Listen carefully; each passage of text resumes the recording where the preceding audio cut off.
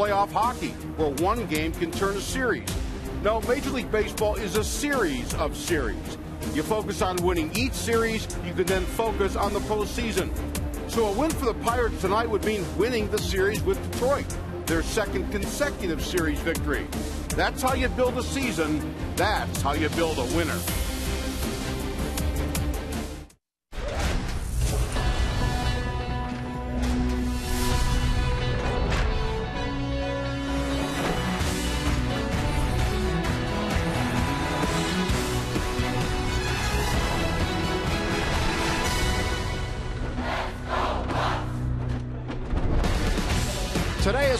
Celebration throughout Major League Baseball. It's Jackie Robinson Day, where teams honor the life and accomplishments of the man. Tonight, fans hoping to hoist the colors once again at PNC Park as the Pirates take on the Detroit Tigers in Interleague Baseball and hope for a series win.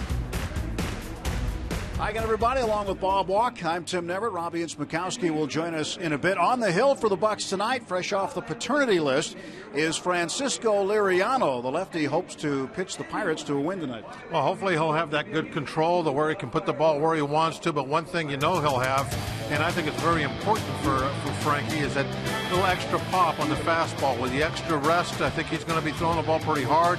And uh, that also means that the slider is going to have a little extra bite to it. And uh, you add all that up, and he's going to get chases out of the strike zone. He's going to get some swings and misses, and that is basically his style of pitching. That's what he needs.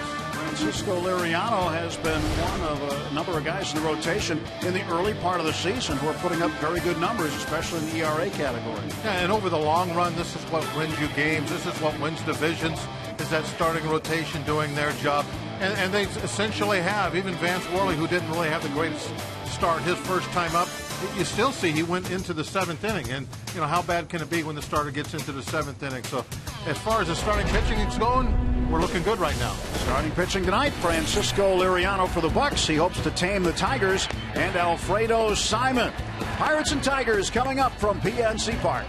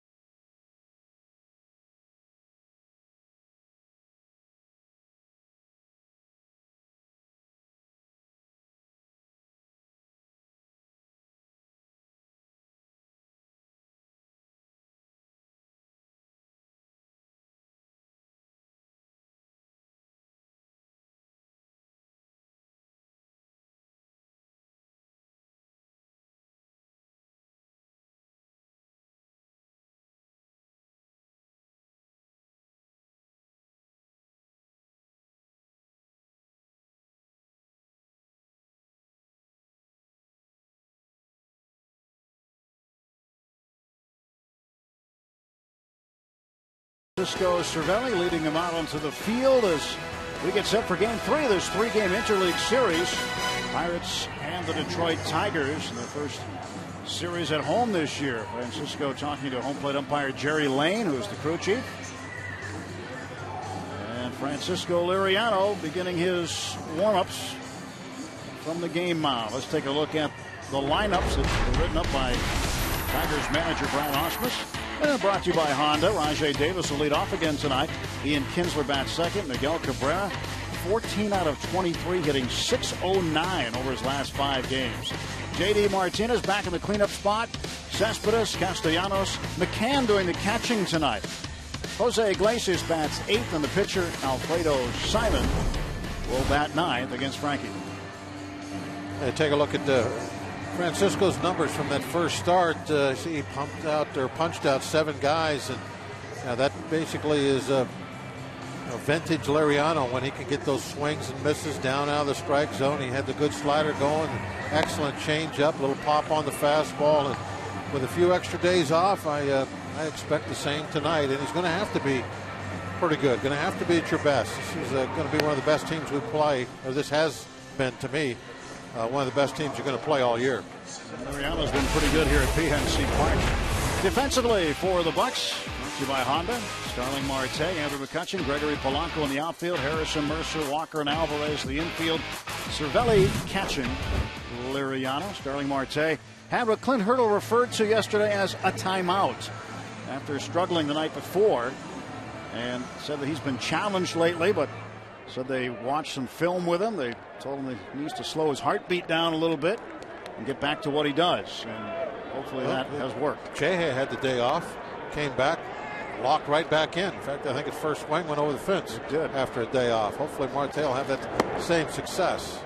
First pitch to Rajai Davis is low for a ball.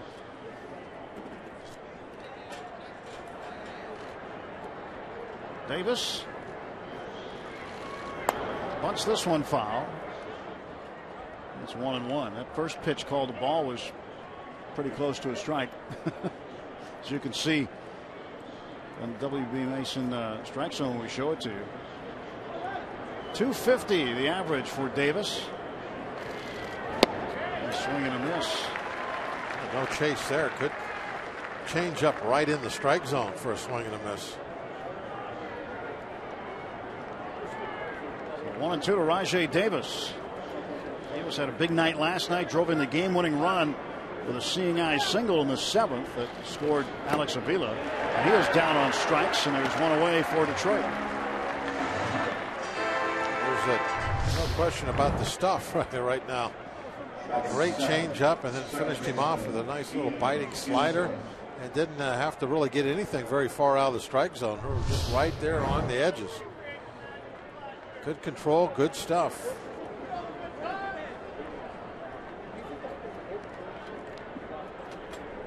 So the second hitter in the order, Ian Kinsler. He's got a five game hitting streak going.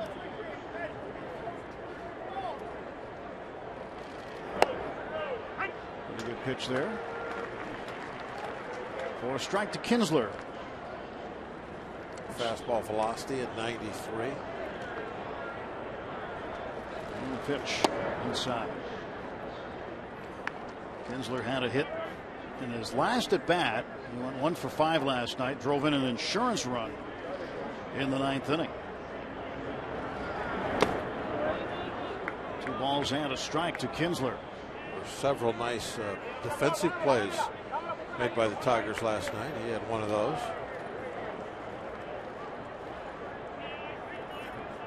the Tigers really did play some good defense. They have played terrific defense this whole season so far, and they put it on display last night. They are playing some good baseball right now. The way they are right now, you can't keep this kind of stuff up all year, but they're pitching well. Greene last night was just amazing uh, the way his location was. Never really seemed to give anybody anything to hit. But the, the, the pitching, the defense, the way they're running the bases, taking the extra base, when they have a shot at it. And obviously their offense overall, the way they're hitting the ball, extremely impressive. 3 2 right back into the glove of Liriano. Two out. But they're tough to beat right now. Pirates have a chance to take two out of three. I think that's be a great accomplishment.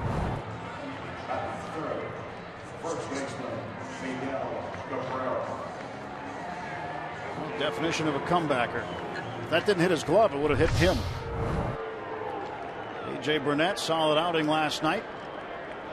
Eight strikeouts, six and two thirds inning. Just had a blemish in the seventh. When he walked two men back to back with one out, one of them scored. And Cabrera hits this one foul a long way down the right side. I really liked the curve ball he was throwing last night. Had good velocity on it because of that little pop he had on it. It looked like it was biting pretty hard. 111 pitches. It seems like the pitch count is not going to uh, apply to AJ all that much this year. Well, there won't be a next year, so no reason to save him. That's right. Easily use them all up.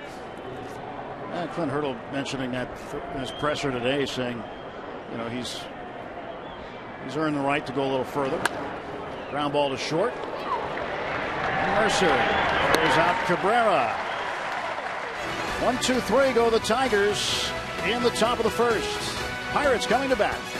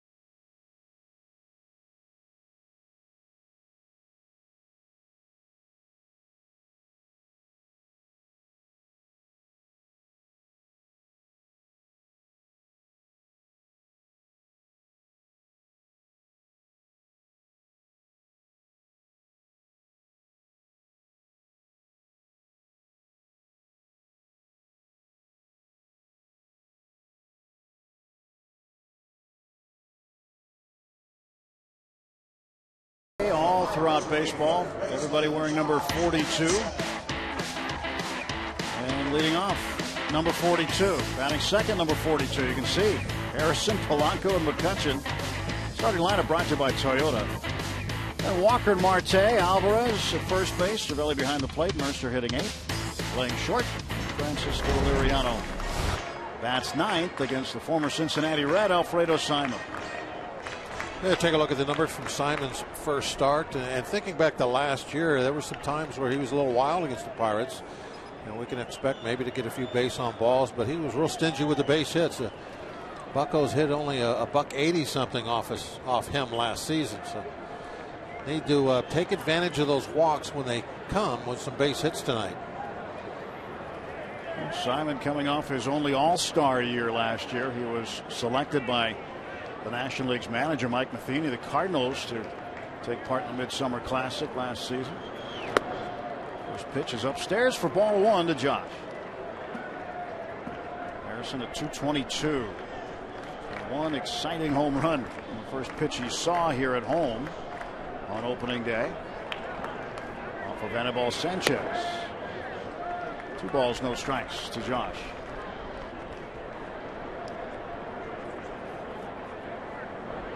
Certainly an honor for the players to get to wear that number. Nobody else gets to. Now that Mariano Rivera has retired from the Yankees, he was the last to wear it. Jason Schmidt, if I remember right, was the last Pirate to wear it.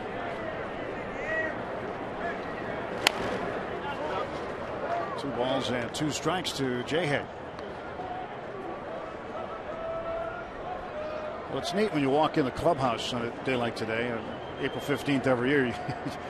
You, walk in and you see the jerseys hanging up, and everybody's got the same jersey. It's just a, a very different, but really neat sight. There's a swing and a miss. And Harrison down on strikes, one gone.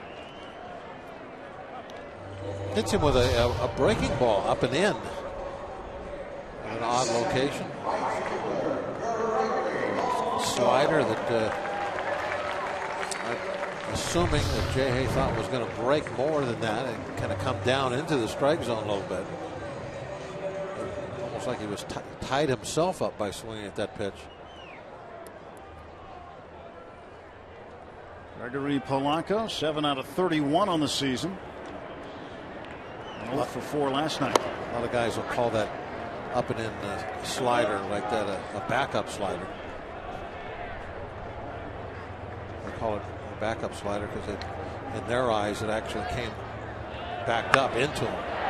Polanco to right center. Rajai Davis is there for the basket catch. A little topspin maybe on that yeah.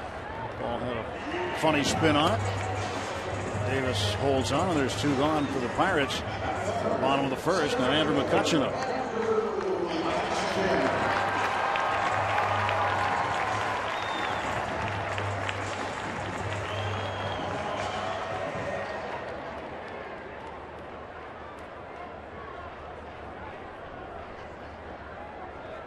McCutchen productive with seven runs batted in, two home runs. And he is hit by the pitch. That one definitely up and in. Pirates have a base runner after McCutchen is plunked by Simon. Yeah, that wasn't any backup slider either. Pretty sure that was a fastball that got him. Let's take a look. Yeah, that, that's a heater. 91 miles an hour. Hit it right on the face of the Pirates. It did. That's, that's no good. A couple of pretty good ball players standing at first base with Cabrera and McCutchen. So Kutcher's aboard, two down. Neil Walker, the batter.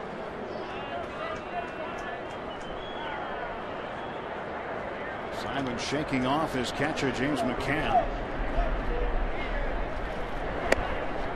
Ball one. Simon's got a pretty decent leg kick. There were 15 steals against him last season. Brings that knee up pretty good, which takes a little time.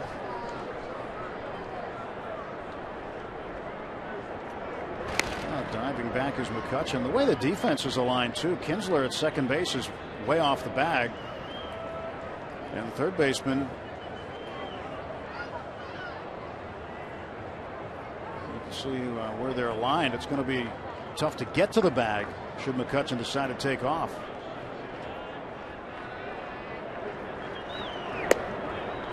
Inside. Sometimes you see a runner take off with a fielders playing deep anyway. It makes it pretty difficult to get there and make a tag.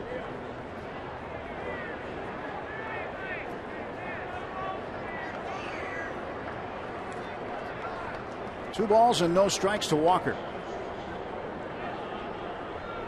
Again, throwing over to first base, stepping back safely, McCutchen. He's got a pretty good lead getting back easily.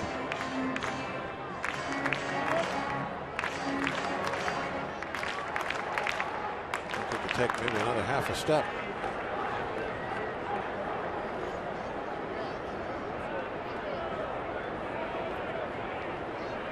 Two zero.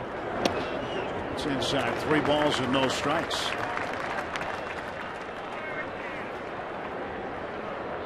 Walker will be looking for something good here. 3 0. Waiting on deck is Marte.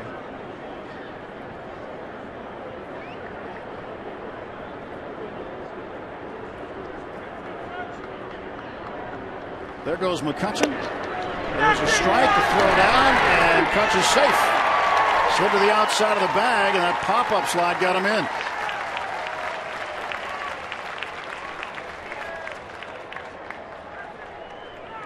So the shortstop Iglesias covering. As we see McCutchen get in there just ahead of that tag on the knee. I think they might. Uh... I think they're going to look at it. That's a good shot right there. That, yeah, they're going. to They're to They're to look at it. I think he's out. Yeah. That angle, that last angle, is a good angle. Yeah, really, Brad Ausmus will challenge in, in this. real time, didn't it look like he was out? It did. It looked like he got to the outside of the bag and maybe slid around was, the, the tag at first. I was surprised at the save call. Bob yeah, Davis but that was the only way it was going to be safe because the ball got there ahead of him, and the only way he was going to be safe was if he could go to the back corner and the tag was missed. And that's what I think, that's how Bob Davidson saw it. Now, is he tagged right there? Now the foot hits the bag. It's not absolutely clear cut, but it does look like the back of the glove is hitting the inside of his knee.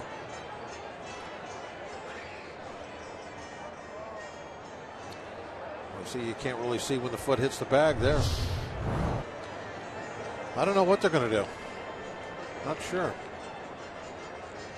Jerry Layne on the headsets to New York. But this might be a flip a coin. But it looks like. Let's see. Let's get another good look at this. Now, where's the glove? Is the glove touching his the inside of his knee? Not there. See, I think uh, everything from that angle, to me, everything's blocked. You don't see anything.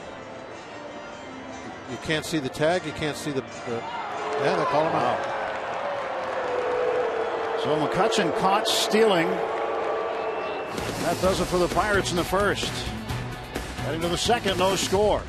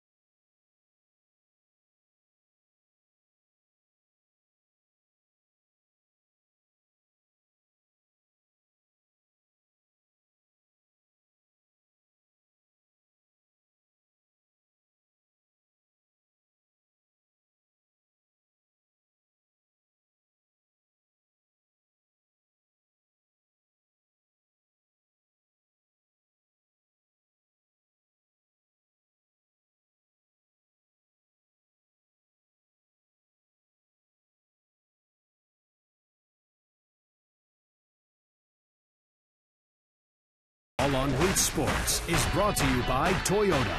Toyota helps you get the most out of your drive. Just ask a friend who drives one. Toyota, let's go places. By Baierl Automotive, we're driven to be better. And by PNC Bank, for the achiever in you. Let's go, Bucs. No score to the second we go. Andrew McCutchen called out after a video replay.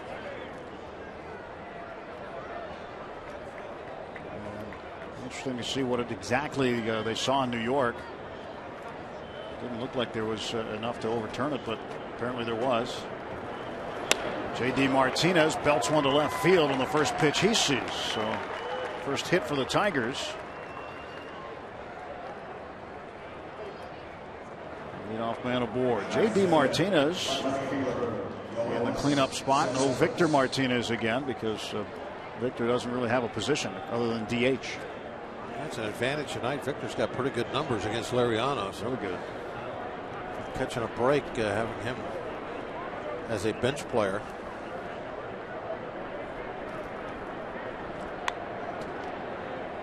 Yoenis Cespedes, the left fielder,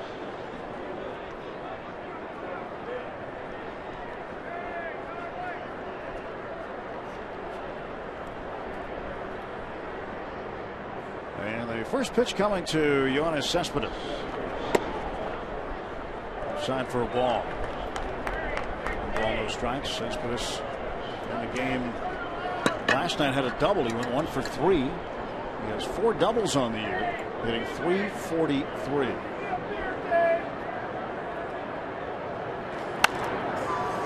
Popped up foul down the right side.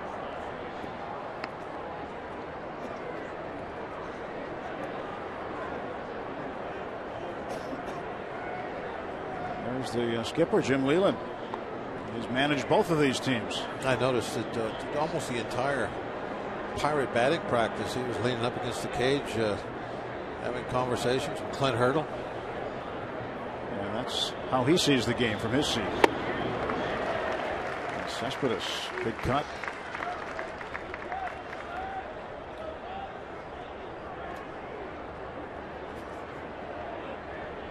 Well, he liked to have some fun with his players when the time was appropriate, didn't he? Oh, yeah, he was great at that.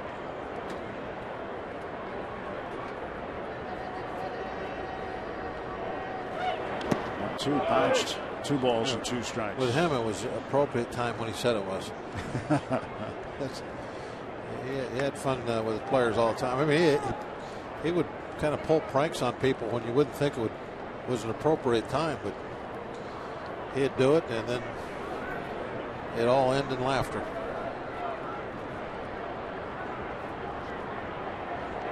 Two balls, two strikes to Cespedes. Martinez off at first. Now full count. I've told this, pulled a prank on me, called me in the office at the trading deadline, told me I'd been traded. And I mean, I can't even remember now where he said I'd been traded, but now it's, it's all we're all tears, crying, hugging, and everything. And then with a straight face, he looks at me. He says, "Nobody wants you. Get out of here." Payoff pitch, swing on a miss, strike three.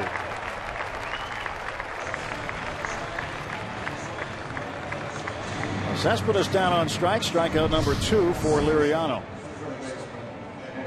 Slider down and in. That's where they get the first one on. Two strikeouts, two down and in sliders.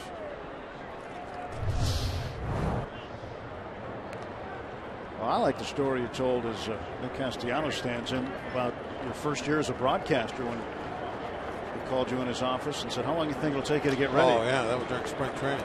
Yeah, he, he thought that or you were thinking he was going to ask you to come back and pitch.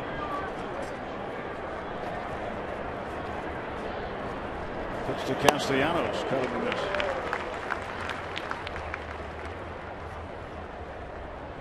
He went on and on about uh, he was being serious, and I said, "Well, I just started off on this new career." And he goes, "Believe me, because I can fix it so that you, you can still have your job when you're done, you know, pitching and all this stuff." And, so finally, he talked me into it, and I said, "Well, if you're really serious, I said I could probably pitch in a game in two weeks." The one runner goes. Cervelli's throw is into center field. Martinez safe at second. But that's what he always does. As soon as he knows he's got you, after all the trying to convince you, so throwing from your knees is always difficult.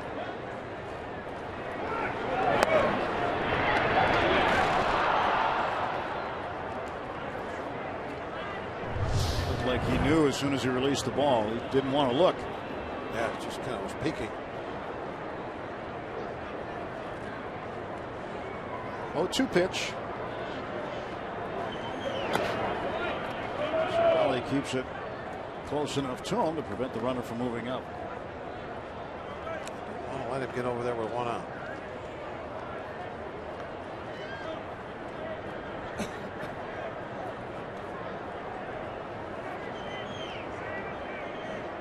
I can't imagine what was going through your head though when he was oh. running through those scenarios for you. and then, like I said, as soon as uh, as soon as he knows he's got you, then he comes clean and says he starts laughing and says, "Who could you get out?" And the conversation's over. I tried to Mercer, a little late at second for the double play. So two men out on a special Inside Pirates Baseball explores some of the Bucs' memorable moments at the most contentious spot in the game, home plate. From fierce collisions to sheer feats of athleticism, relive them all on Inside Pirates Baseball. 10 great plays at the plate tonight after postgame on Root Sports.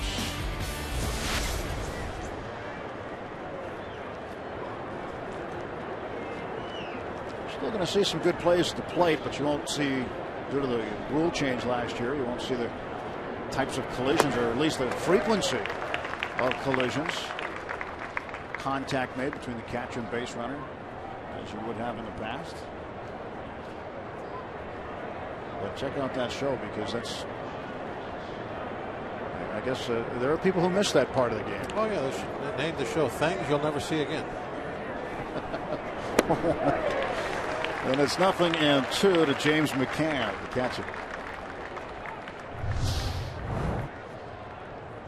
Pitch is staying down in the zone. Yeah, he's getting those chases on that slider, especially. Dropping him below the zone. Oh, whenever Liriano pitches, we always talk about the fact that he gets strikes without throwing strikes. Everybody does to some extent, especially strike threes. Most of your strike threes, I got to believe, if they're if they're swinging strike threes, are out of the strike zone.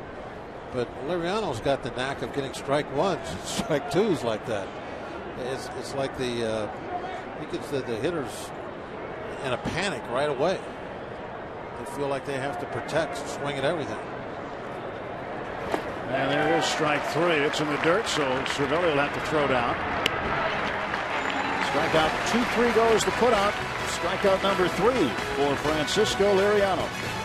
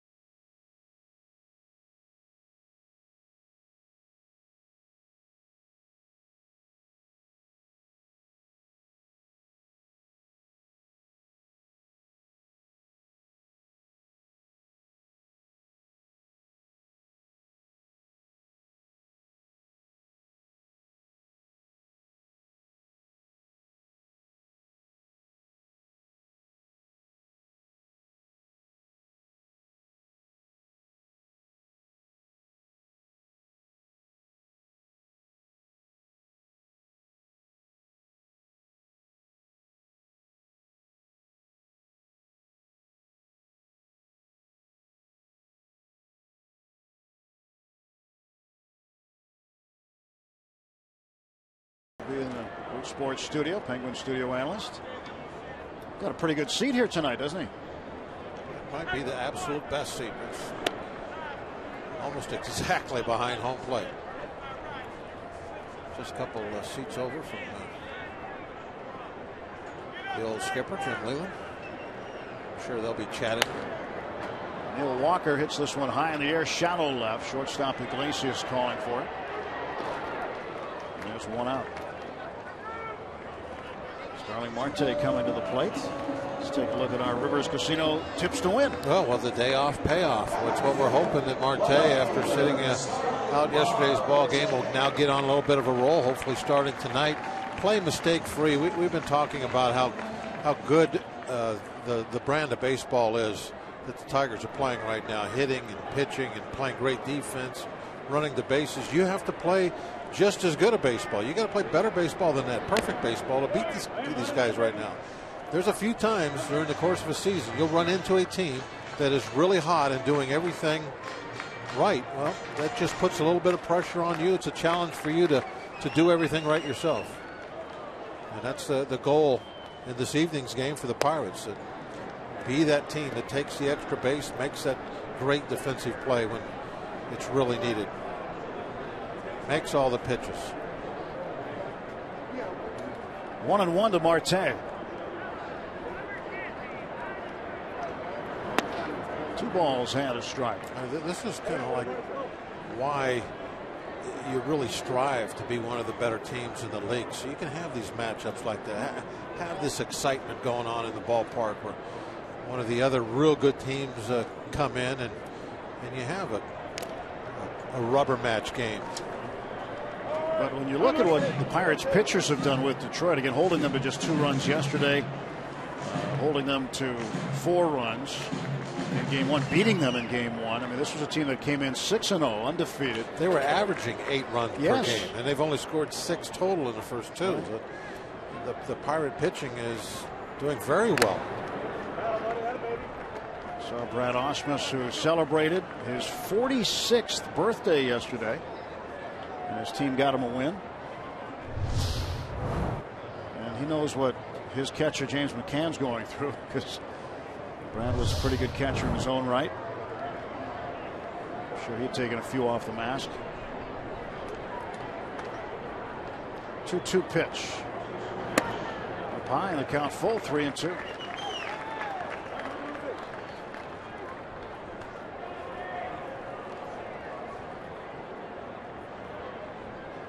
Pedro's on deck. Starling Marte waits for the payoff. And it's a ground ball to third. Castellanos plays the good hop and throws him out. He got the head of the bat to the baseball, hit it sharply. Good at bat. Just didn't get a hit. First baseman, Alfredo Simon to face Pedro Alvarez now.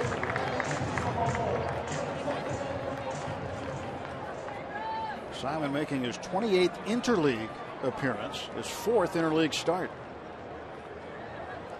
He has pitched all over the staff, I guess you'd say, throughout his career. He's been a starter, reliever, closer. Pedro 308, 8 for 26 so far in the season. Three of his eight hits have left the yard. So that one for a strike, one and one.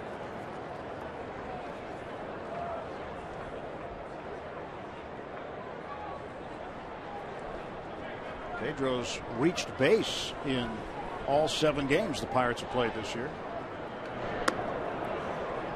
How about that pitch? Yeah, what was that? I don't know. It's 58 miles an hour. this is the slowest pitch we will see the entire season. That looks like one of those eephuses you threw to Gary Sheffield. No, that, that was way faster. the eephus pitch leaves the uh, screen, goes way up, and then comes back down, back into view.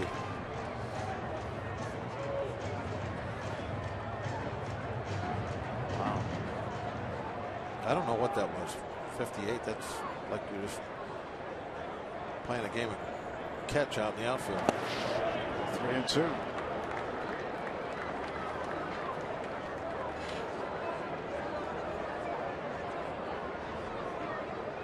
Get faster throws from the coaches at BP. Cervelli on deck. Two men out, base is empty. Payoff pitch to Pedro. To the right side. And Cabrera's got it. He'll handle it himself. And the Pirates gone in order in inning number two. We'll head to the third at PNC Park. Still scoreless.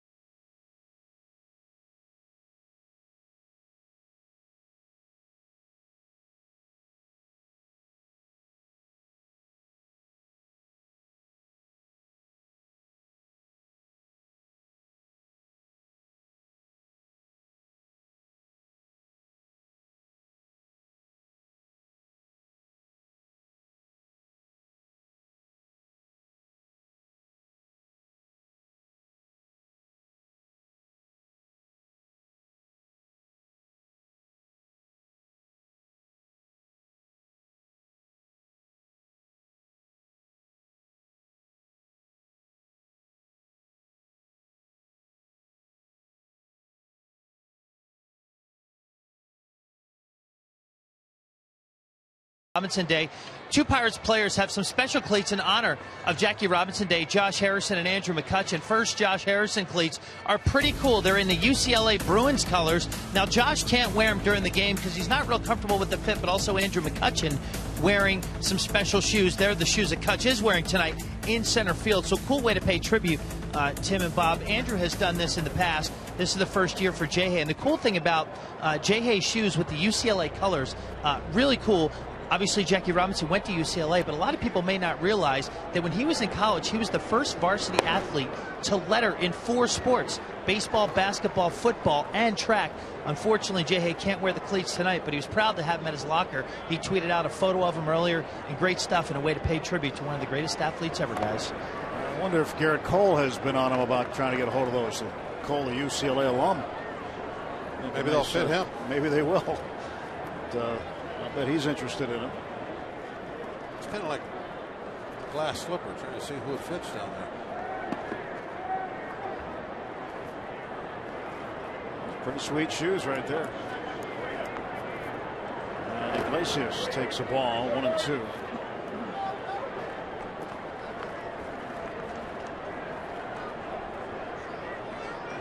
There's the Bruin. Gerrit Cole. Three seasons at UCLA. He'll go again on Sunday against Milwaukee. This one is fouled off. Count stays one and two to Jose Iglesias.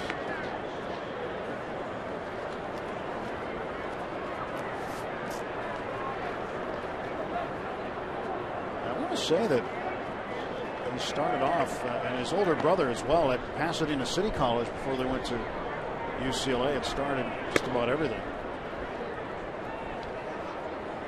He was an incredible athlete. In fact, when he debuted this day in 1947, it was at first base. People think of him as a second baseman, but he, he debuted at first base, played there. That was how he got to break in with the Dodgers. Had to learn a new position. And learned it very well.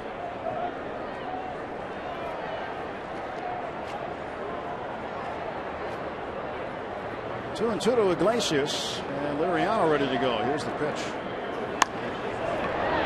Flared to right for a base hit. And Gerrit Cole on Jackie Robinson. The man deserved to have his number. Uh, retired at that school for a long time. Lettered in four sports. Um, unbelievable, you know, towards the game of baseball. And uh, you know, just from everything that we've seen, everything I've heard, um, when his family comes to opening day sometimes for us, or Jackie Robinson Day when I used to play there, um, you know, they're just the most gracious people, and, and, and, and I'm sure everybody knows it's well deserved, but it's about time. Alfredo Simon at the plate showed bunt. Gerrit Cole proud to be a UCLA Bruin. Well, besides the fact that he was a great baseball player, you, you know that, and this I think is the most important thing about the whole deal, is he had to be and have incredible character as a man to be able to go through what he did to break that barrier. I mean, it, it was much more than you know being able to hit or throw a baseball or steal home or any of that. And that was really just a small part of what he was able to accomplish. 1 1 runner goes, throw down by Cervelli, and Iglesias is in. Is going to be stolen base number four on the season for Jose Iglesias. Second one tonight by the Tigers. Just look at the amazing jump he had, almost a running start off first base.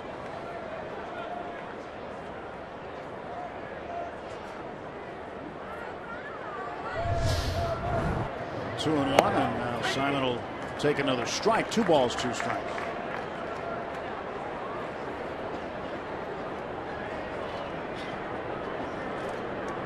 Have you seen the movie 42? I, I never sat and watched the entire thing. I've seen quite a few at different times, bits and pieces of it. Bunt foul, and he strikes out. So Simon out on strikes. Uh, folks, if you haven't seen the movie 42, I highly recommend you see it. It is uh, a very good depiction of what Jackie Robinson went through. What uh, Harrison Ford plays a, a good Branch Rickey too.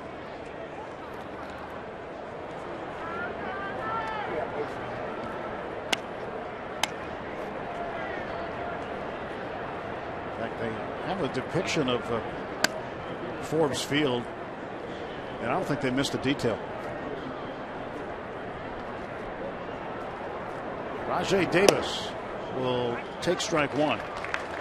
Davis struck out swinging in the first. Saw a lot of pitches right at the knees in that first inning, and then the, when he got the two strikes and he got that slider that was broke off down and in, and he swung right over the top of it. Another strike, 0 and 2. Liriano got the 92 mile an hour heater in there for a strike. Look at the location. Huh? Absolutely perfect, right up on the hands.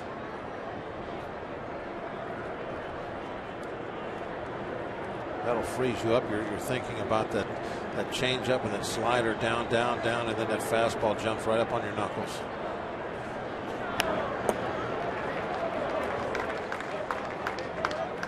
Davis liked that pitch.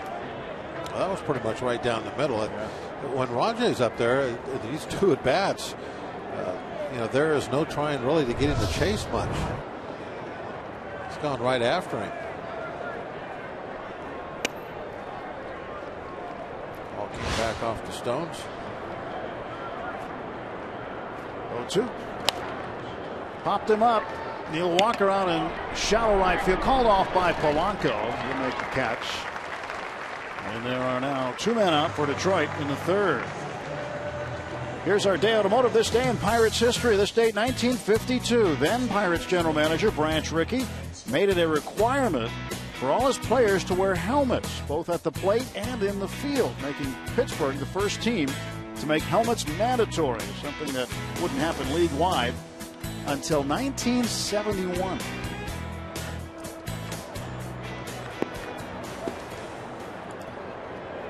It's one of those I'll bet you didn't know. Could they wear any helmet or would they have to wear a specific kind of helmet? I'm sure it was the helmet Mr. Rickey told him to wear. Whatever whatever helmet it was. Probably right. And the 1 0 to Kinsler is outside two balls, no strikes. Runner at second base is Iglesias. Two men out. Well, it took him 19 years to make it mandatory league wide.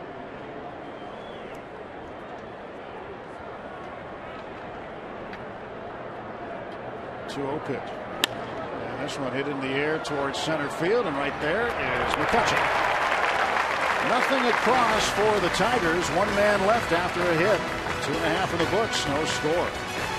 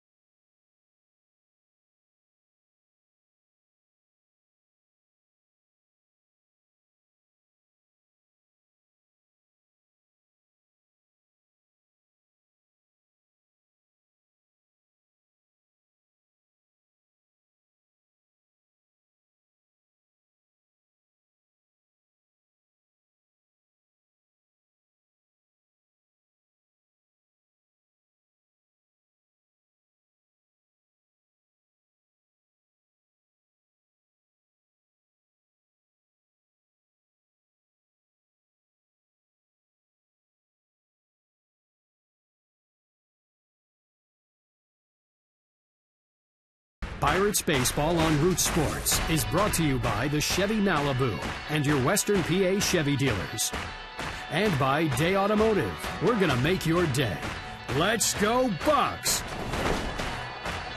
On the UPMC scoreboard, Tigers nothing, Pirates nothing on Jackie Robinson Day. Everybody wearing number 42 on this day, April 15th. It's been that way since 2004. Nice night, Pittsburgh. We start the bottom of the third inning. Francisco Cervelli to face Alfredo Simon. And Cervelli hits one high in the air to center field. Playable for Davis. Rajai Davis backing up. One out. These are the kind of nights that, weather-wise, I think pitchers really can enjoy going out there. It's, it's not cold to where it's uncomfortable, but there's a little coolness about everything. And you, you really feel like you have energy and you you know, I, I, think you feel like your fastball can, can really pop in this nice cool weather.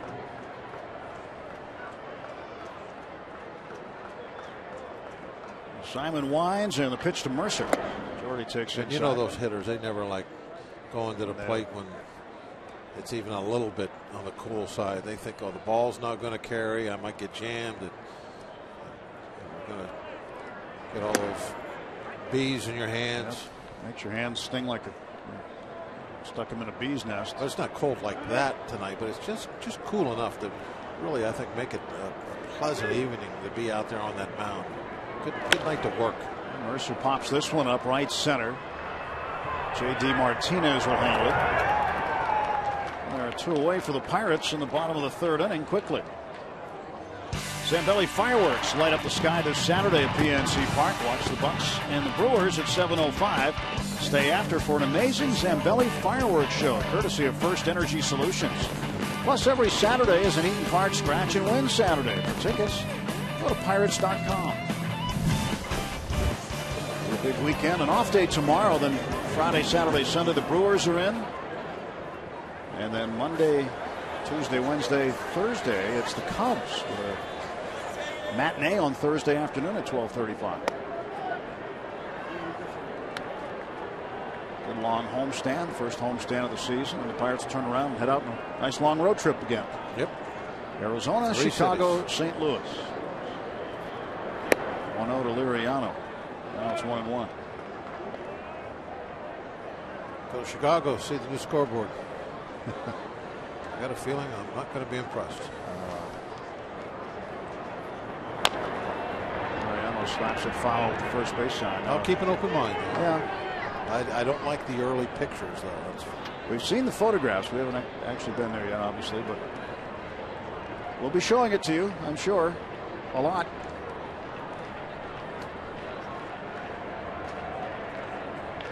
It's going to block out a bunch of those houses that we're used to seeing on left center field. They're definitely going to be different sight lines. There's a line drive right at Kinsler. And the Pirates are done in the third inning. We'll head to the fourth. Still scoreless.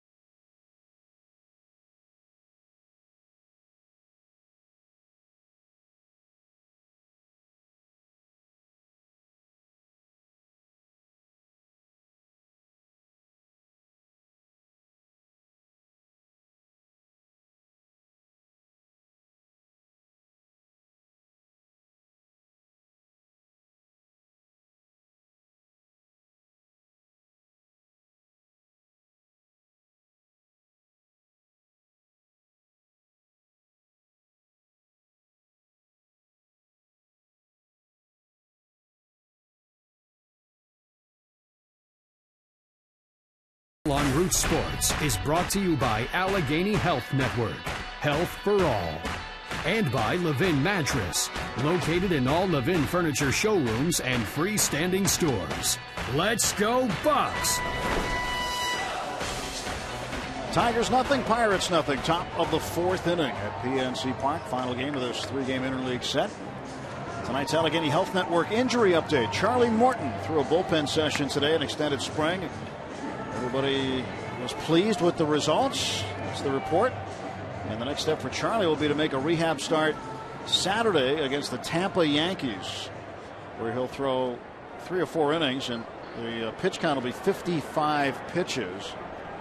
So they're looking for at least three ups, as they say, three innings at least. 55 pitches for Charlie Morton. So he'll go to Tampa and pitch over there. 10 a.m. Saturday morning.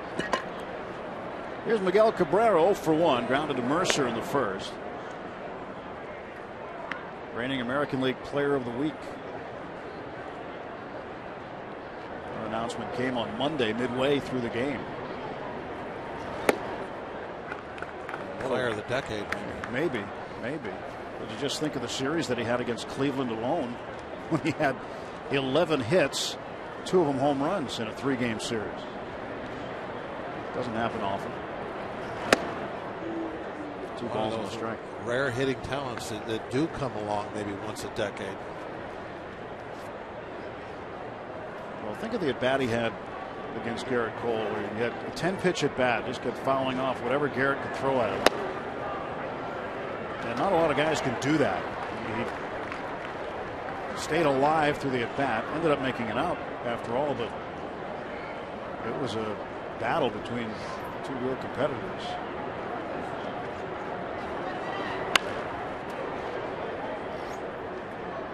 Two strikes on Cabrera. Against Liriano. 9 for 32. 281 against Frankie.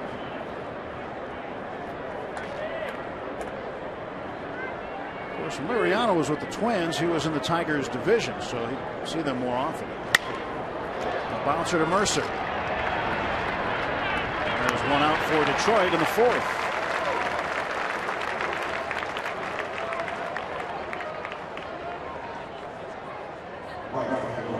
You know, when you get those uh, those matchup numbers like that, where you see the 30 at bats, it, you really can, I think, take that to the bank that that's what you're going to see, uh, you know, for the game that you're talking about. That many at bats, that doesn't lie. JD Martinez had a first pitch single, his first at bat to lead off the second inning. You, see a matchup sometimes and it's just single digits and seven or eight at bats, something like that. I, I always wonder exactly now what does that mean. Both both the hitter and the pitcher are still kind of learning about it, each other a little bit, and that's especially true if one of them is real young, uh, you know, first or second year. You're going to get a little of that. Uh, a little, little change in how you, go about hitting or go about pitching just from your first, your second, third season. And you got to get through that before those numbers, I think, will become meaningful. But when you see 30 at bats, I mean, that's it's a pretty good. That, you got a pretty good handle on, on, on, what the man, matchup is going to be on any particular night. Ball and two strikes to Martinez. Struck him out. Strikeout number five for Liriano. Now, something I, I think we're seeing from Frankie tonight is that the ability to get strikes in the strike zone much more than he's not having to get all those chases on balls bouncing in the dirt. He's he's going on the edges of the strike zone, but still, uh, I would call them strikes and getting some swings and misses. Just really good stuff tonight which I think everybody expected. He got a couple extra days off. He's going to have good stuff. The question always in that case is what about the control? That's been very good also. Cespedes struck out in the second. He's 0 for 1. Takes high ball one.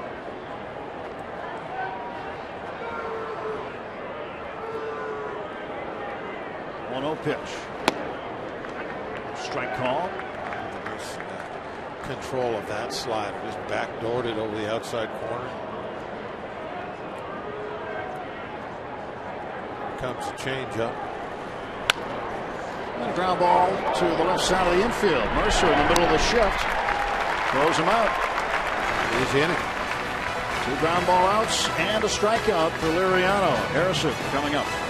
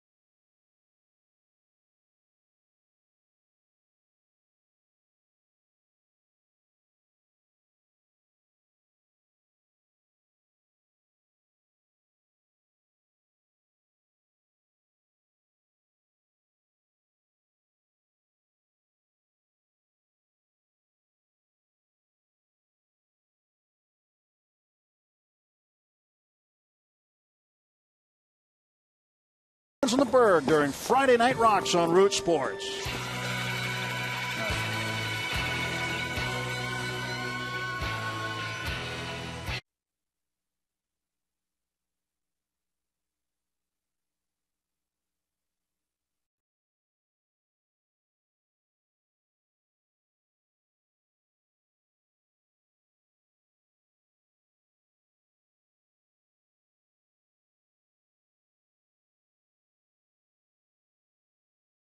Some of the best bands in the Burgh during Friday Night Rocks on Root Sports. Get tuned in to Pittsburgh's music scene as we showcase local artists and tracks throughout every Friday Night Pirates broadcast. Friday Night Rocks starts this Friday at 6:30 when the Bucs take on the Brewers on Root Sports. We go to the bottom of the fourth, no score. Jerry Layne, the crew chief, pointing to something down the right field line.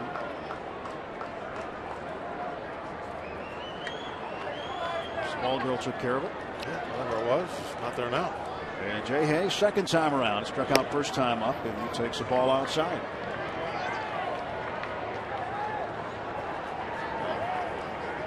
Those guys are ready for Friday Night Rocks on Roots. They'll be there. Front row. That's good. A new feature this year. It's going to be entertaining.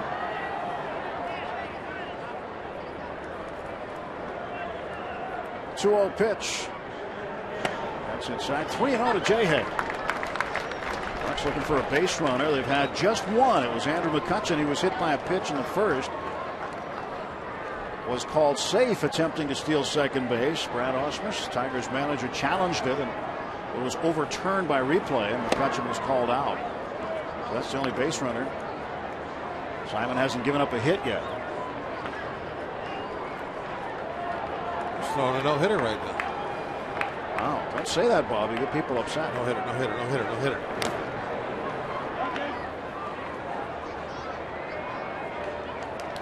See, I don't want him to throw a no hitter. I know, So but I am trying to jinx him. it's amazing that that that four-letter word I am trying to jinx him. begins with a J and ends with an X. No hitter. It's Amazing. 3 2 pitch. And Jay down to third base. Castellanos with a backhand. One out.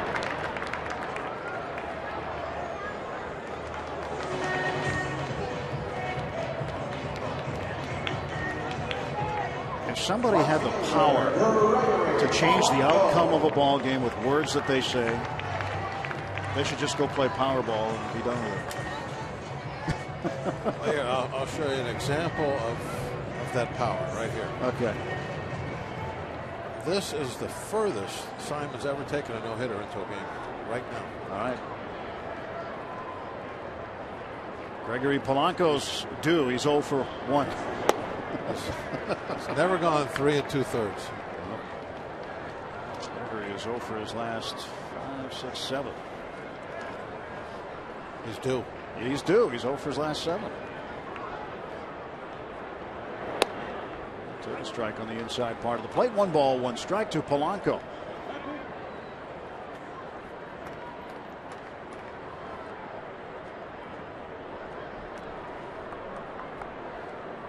Bob's knocking on wood. It's inside.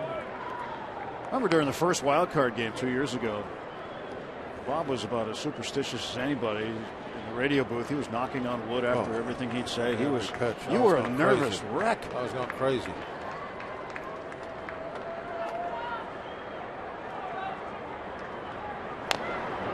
Wish I had one of Ray Miller's old hats. Yeah. Now, Ray would have like little symbols, different things, triangles and things on the bill of his hat, right on the edge. And there were certain times during the game he would set those right on the opposing pitcher's head as he's on the mound. Really? Yeah. It's kind of like a scope. Uh, Zeroing well, in on just uh, there's certain jinxes he was putting on. 2 2, and this one is foul. Did he have a book of jinxes? that he just select I don't certain know. jinx? He might have had one at home or something. I never Yeah. saw that book. But he's the one that uh, I found out about the knocking on wood if you had a negative thought creep in. I saw him. He would always sit on the wooden stool, never back on the bench. And I'd see him knock on it every now and then. I had to ask. And he says, every time I get a negative thought, every time I pitched I, after the game, my hand was always all bruised up. Bloody knuckles? Yeah. But that started in the bullpen for the game. Probably sometimes. it's full count to Polanco. Alfredo Simon right now has it going his way, but Polanco trying to get on board for the Buccos in the fourth.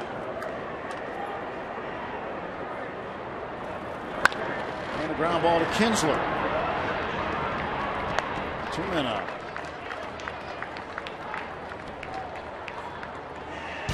It's the first Kids Day of the season this Sunday.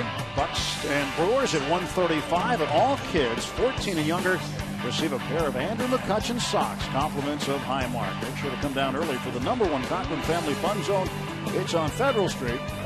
And you can stay after. Kids can run the bases. Presented by the original Pizza Logs. For tickets, go to pirates.com. And Andrew McCutchen won't be giving you those socks, but he's got some other socks the kids can have. 14 and under, you'll get a pair on Sunday. First Kids Day of the year. It's still an ice cream kind of night, Bob. Oh, it's always an ice cream night. I had my ice cream. You get some? I had the frozen yogurt. Oh. And McCutchen to right field. This one is twisting into the seats foul. Yeah, some frozen yogurt with some kale on it. Did you? Yep. I usually go with chocolate syrup on mine.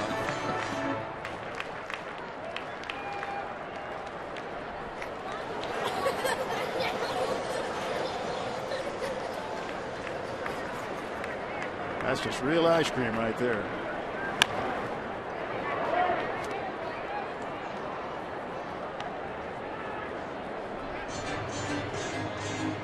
Tried some kale the other day. in Spring training. Did you? Yeah. It's good. I wouldn't go that far. Oh, it's fine. Good I for like you, it. I guess. It's good for you. It's good. Doesn't taste bad. Tastes good.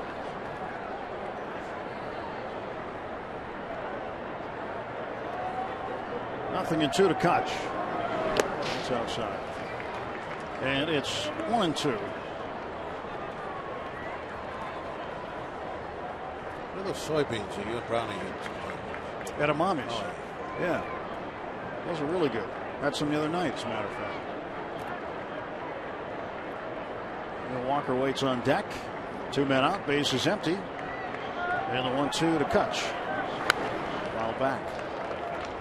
You don't like those either? I don't think I've ever tried one. Well, we're One going of these days you'll talk me Well, we're going to Arizona soon. There's a good place for those in Arizona. We'll uh, Give it a shot. yeah. Play the proper technique on how to eat them. It's very difficult.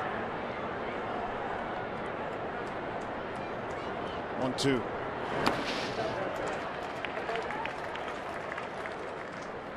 Two balls, two strikes to McCutchen.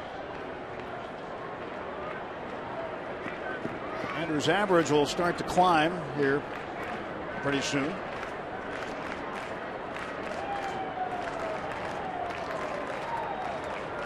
One of those spurts where he just gets red hot and the average will get to where it should be.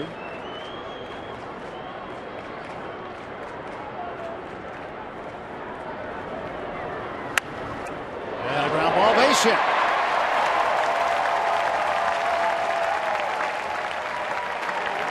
First hit of the game off Simon. All right, now we went full on, full press on the Jinx this inning. Full, full court press. Are you a believer now? No. Full court press. We pulled out every Jinx we could name, and boom, there's the base hit.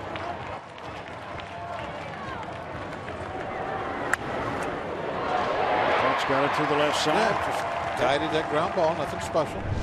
That's just that's a Jinx base hit right there. Look, look, look at the smile.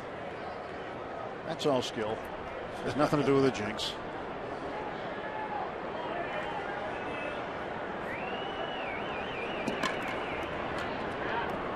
Walker at the plate with two down. And that is in for a strike. Well, he's, you know, when you're playing and stuff, that's that's fun stuff on the bench, and you know. Oh, I, I've seen guys do some that. crazy stuff. I understand all that, but in reality, in the real world, it's they don't mean a thing.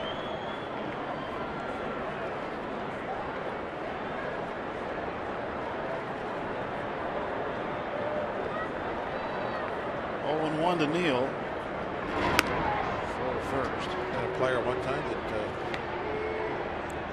carried around a little sort of package of raw sugar, little brown packets.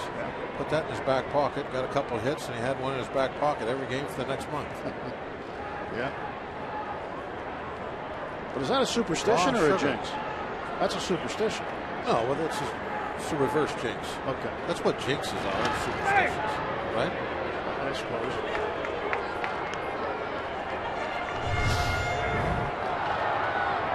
Got back display a little Uh, now, last time when he was out there, he was getting back standing up without a tag. Maybe he's taking that extra half step. And if you remember how close that play was, it was overturned. That half step was the difference between out, out and safe.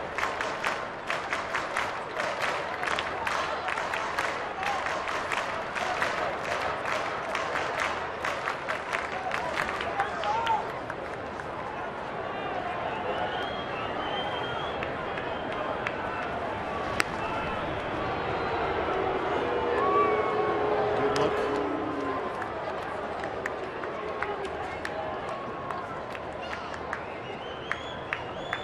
Base runner always has to know what that pitcher's doing in terms of reading him, whether you're going one way or the other. Rajai Davis got caught last night on AJ Burnett.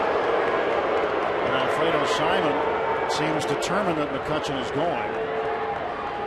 But Davis just thought he was going to run first move because a lot of teams run on AJ. He was picked off badly. Bob Davidson was the umpire over there. It was an easy call for him.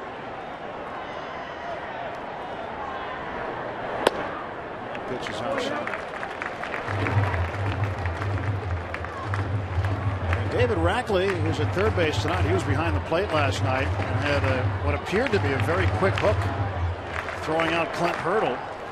Well, he had a tough time with that strike zone pretty much all night. There was a lot of uh, talking, I, I think, from the players, and I'm assuming the dugout. I, I, my guess was that wasn't the first word that was said from the dugout. Perhaps not. It had to be a buildup. More than likely not. We had talked uh, a number of times before that about pitches that had been missed that should have been called strikes that, that weren't, or vice versa when we were hitting. Uh, you knew that that Pirate dugout was not happy at that point. 3 1 to Walker. And Neil hammers it to right field. That's going to get down. in front of Martinez. Back to back hits with two outs, and Walker hit him hard.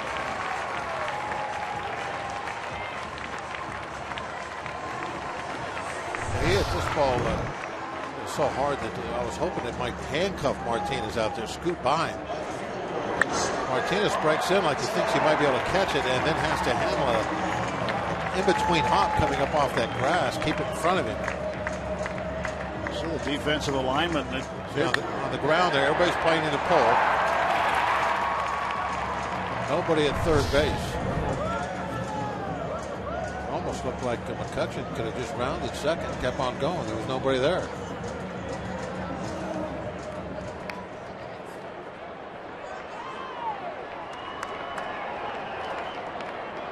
First and second, two down for Starling Marte.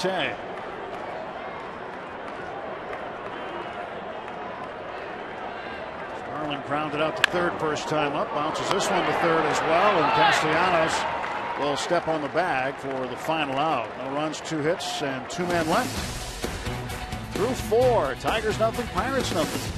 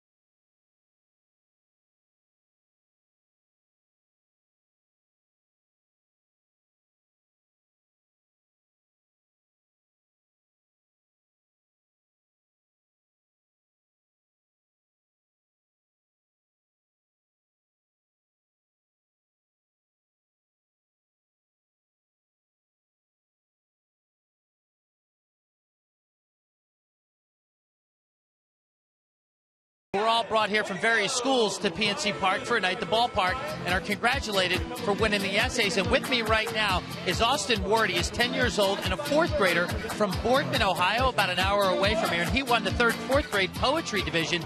Now, Austin, before we came on camera, you said that Jackie Robinson inspires you. Yes. Why is that? He inspired me because he always had to fight through all the fans, and I look up to him when I'm playing baseball, like to not get mad if the ref makes a bad call. I always just shake it off and say maybe next time.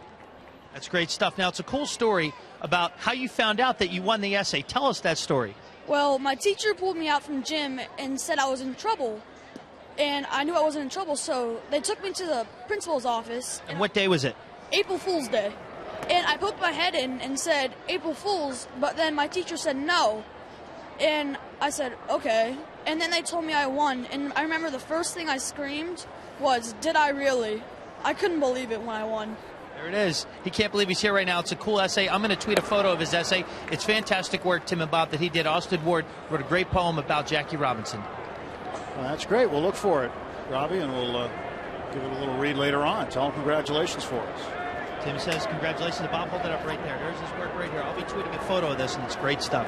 Congratulations from all of us, Austin. Thank you. 2 0 pitch to Castellanos goes the opposite way for a base hit.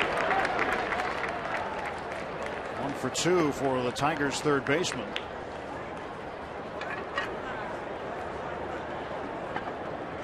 This will be on Twitter at Root Sports Pit very shortly. Austin Ward, Jackie Robinson Hall.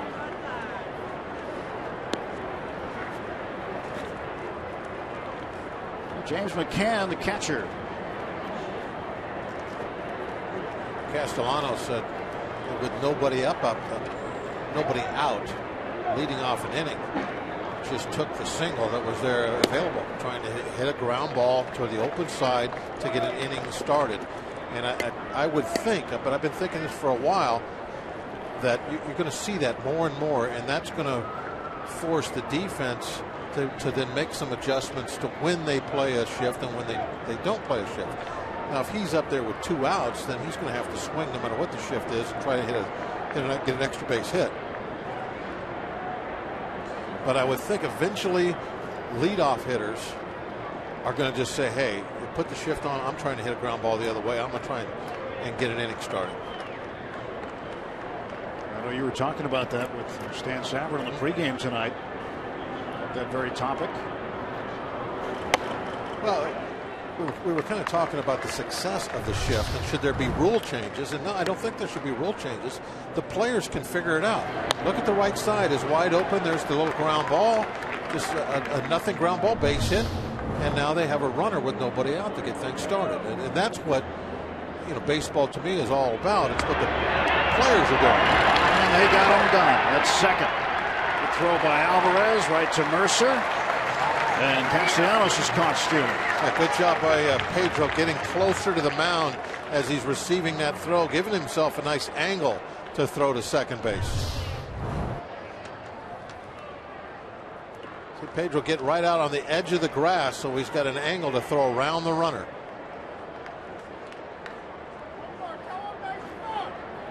Fired a rocket over there. Yeah, waist high right over the back. Perfect throw. One man is out. And Now it's a one ball, two strike count on McCann.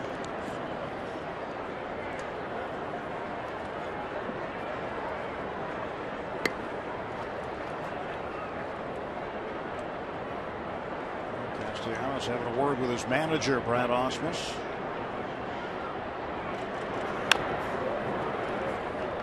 Still one and two.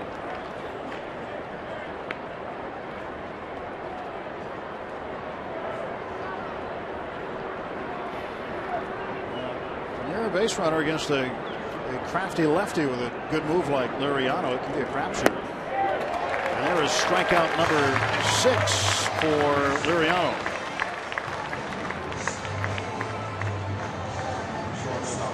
Two down.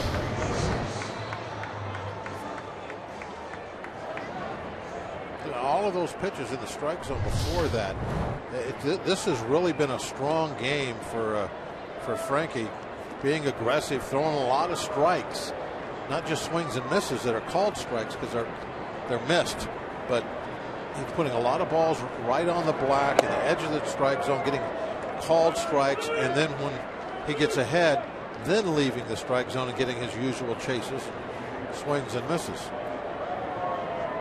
1 0 to Iglesias. Shortstop. Take that one for a ball. 2 0. And he does have that good move. You mentioned it a while ago. That that's one of the, the better things that uh, Frankie can do out there. He, he can pick you off first base.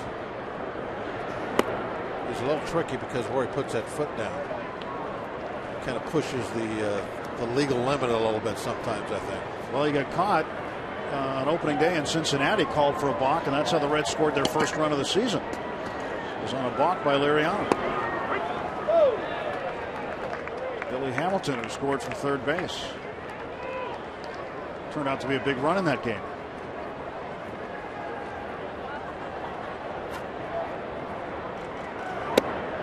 And there's ball four. And Iglesias likes to run. He's already stolen a base. He's been on base twice now after having a base hit in the third inning. Yeah, we'll probably see some pickoff throws. And watch that front foot. There's imaginary line that you draw from the rubber to the 45 foot mark. You can see where that's marked out going down the first baseline, where that box is. Well, if he steps to the home plate side of that imaginary line, that's supposed to be a balk. Ground ball over the mound. Walker will grab it. Will throw on to first. And Alfredo Simon is out. No runs a hit. One man left. Halfway home at PNC Park.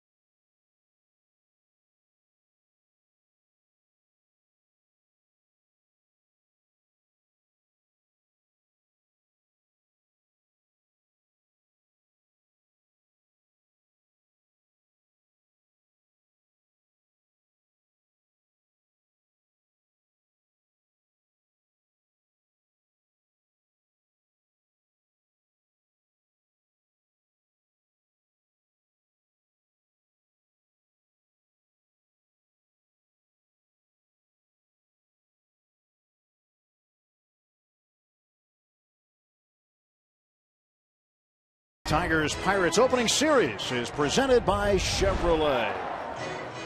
A pleasant night in Pittsburgh tonight. And a 3D bearded big head of Pedro. Well, that's a little unique. Took a little time put together. I would say that he gets an A for effort. Get one up there, Pedro. Resembles the real thing.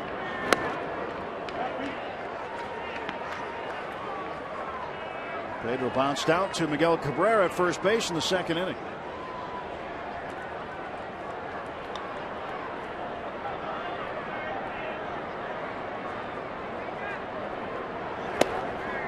It's a strike on the inside edge, one and one.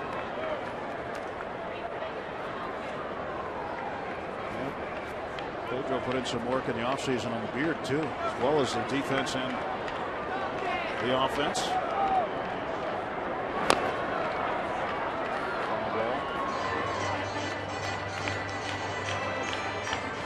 So homering at a pretty good clip to start the season. He's hit a home run in three of the first seven games. So I think you take that all season long. That's a pretty good pace. He looked real good in spring training. I know that's kind of meaningless, but it certainly looks like he's not been able to bring that into the regular season. Hopefully he'll be back uh, challenging for that National League home run crown. Right into the shift. Is out. So making the play was the third baseman, Castellanos. MLB.TV Premium, the number one live streaming sports service, is celebrating 13 years. Watch every out of market game live or on demand in true HD on over 400 mobile and connected devices. Real time highlights, live look ins, pitch tracking widget, and more. Every night on every device. Blackout and other restrictions apply. Visit MLB.TV for details.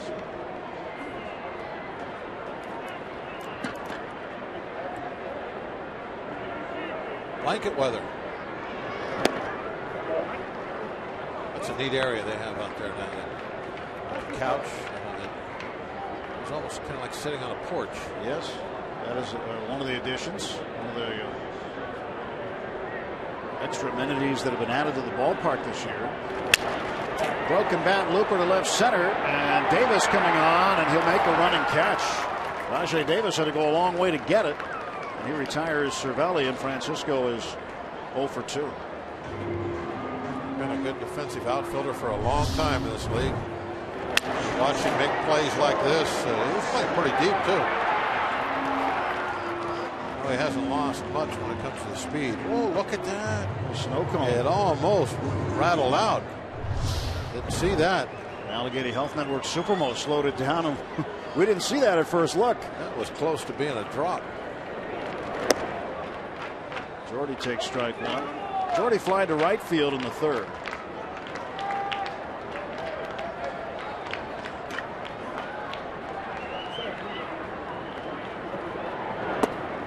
Outside one and one. Well, that bat Just broke. is, uh, Authenticated. Yep, it's authenticated and uh, no longer in use.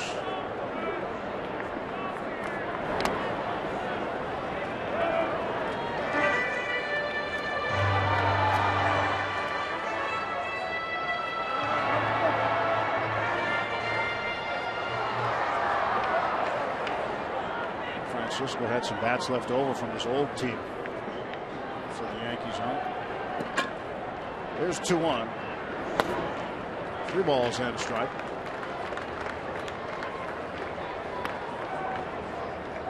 You know, I would think that bats have a useful lifespan, even if they appear to still be in good shape. Got to dry out, I think. Just Got a humidor. The humidor for your bats? Yeah. Maybe become brittle after a while. Well, you'd think so, depending on where you keep them. Like if you kept it in your, uh, you know, behind a closet door or something for a long period of time, it, it might Get brittle. It might stay, uh, stay okay to use. Three two, and out on strikes. There's Jordy Mercer. Pirates going in order again. We'll head to the sixth. Still scoreless.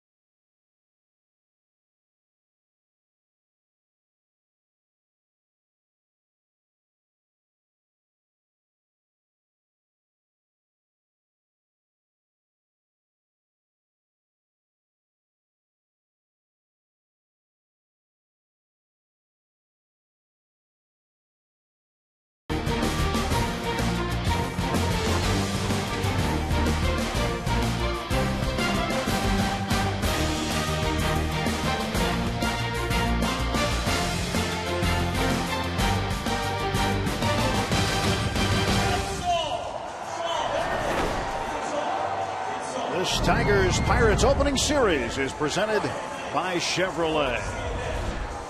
Along with Bob Walk and Robby and I'm Tim Neverett at PNC Park. Top of the sixth. Second night in a row, pitcher's duel. No score, five hits combined. Tigers with three, Pirates with two. It'll be the top of the order for Detroit. Rajai Davis, Ian Kinsler, and Miguel Cabrera to face Francisco Liriano. Francisco with uh, some of the best control that uh, we've seen him have in a while. I mean, he is really going after the strike zone.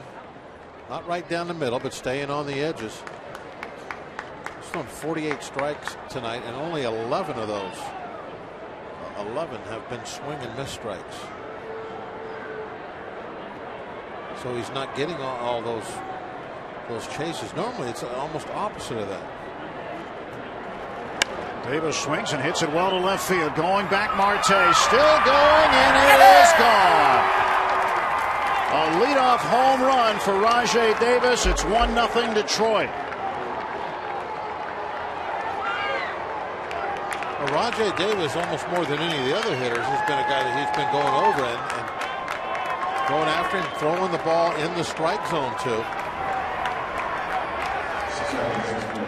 This pitch is really kind of on the outside part of the plate, trying to backdoor breaking ball to get ahead, and it stayed out there. Davis hit it like he was looking for it. Maybe guessing a little bit. Went out and hooked it. First home run of the season for Davis.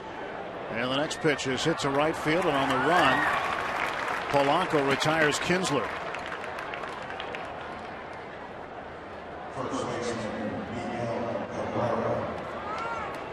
Rajai Davis drove in the first run of the game last night, and he's done it again here tonight. Last night it turned out to be the game winning run. Let's hope that's not the case tonight. Cabrera puts it up in the air to right field. Polanco will have a play. Two down.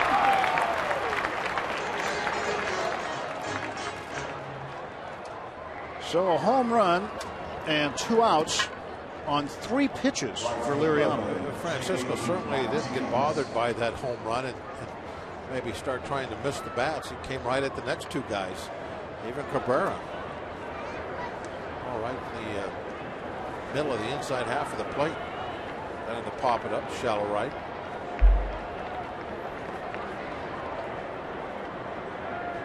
J.D. Martinez, one for two, singled and stole second in the second inning, struck out swinging in the fourth. And a strike call.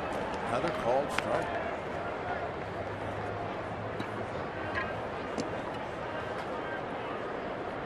Two ninety seven, four home runs. He leads the Tigers in home runs with four. In fact, J.D. Martinez on opening day against Minnesota became the first player in the majors this year to hit a home run.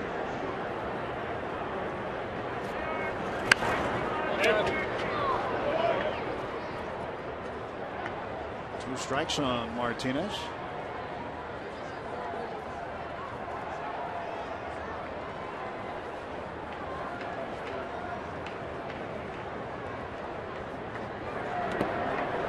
Trying to get him to chase in the dirt. One and two.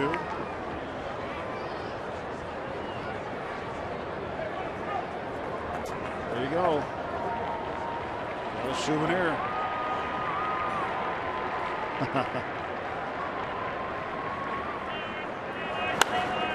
this one fouled off to the right. Makes the facing of the second deck.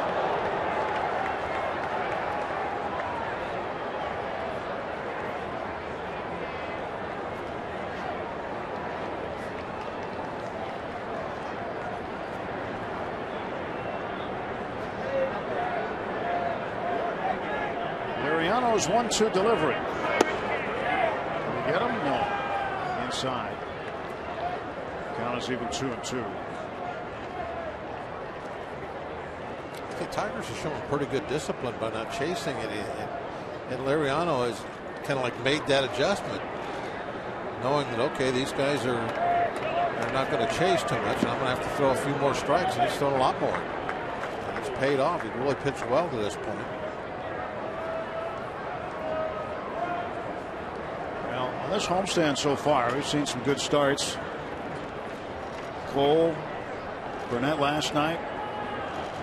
Liriano tonight. Just the one blemish, the Davis first pitch home run this inning. Payoff pitch. Foul back.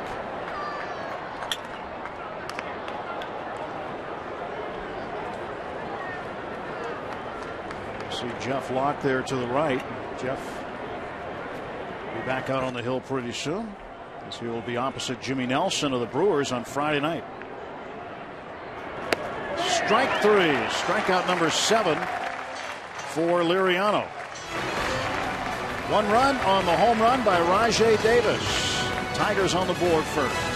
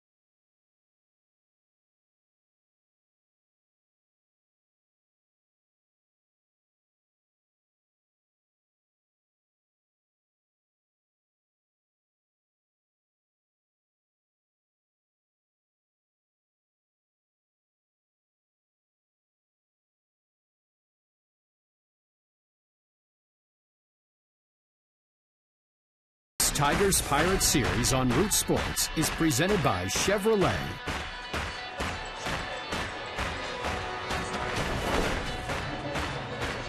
Bottom of the sixth, 1 0. Tigers in front. Jay Davis, the home run. Francisco Liriano is going to be finished for the game. His spot leads off in the bottom of the sixth. So he'll be pinch hit for.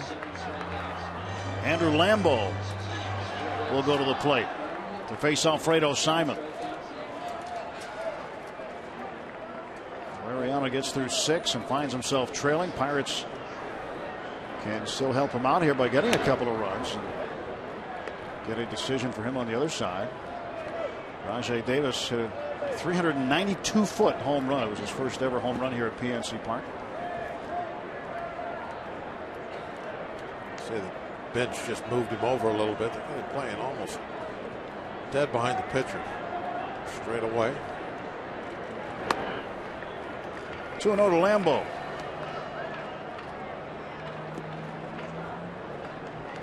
Still hoping for a little wildness here, a couple walks. Somebody get the big hit.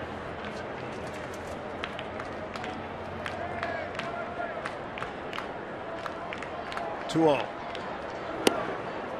Oh, strike right on the inside corner.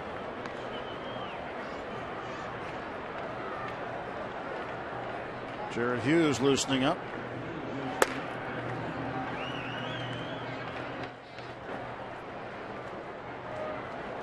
Two one. Lambo takes one. Well, that's a strike. See where it was. I think it's a little, a little low. Huh? Was low and out of the zone. Called a strike nonetheless. Two balls and two strikes to Andrew Lambo. For his first hit of the season.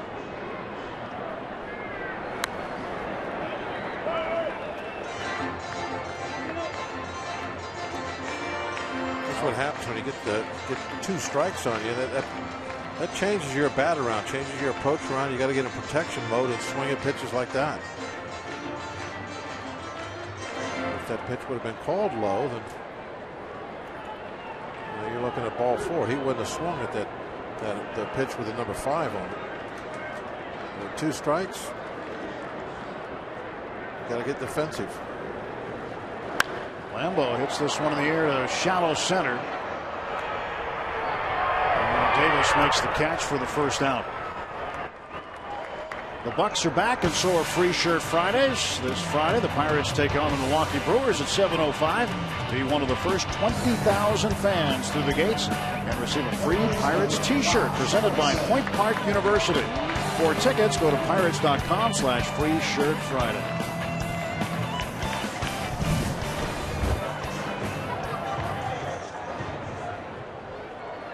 Hopefully, we've got some uh, T-shirt type weather. Friday night. Game one between the Bucs and the Brewers. Harrison rips it down to third, but right there is Castellanos. Two outs quickly in the sixth.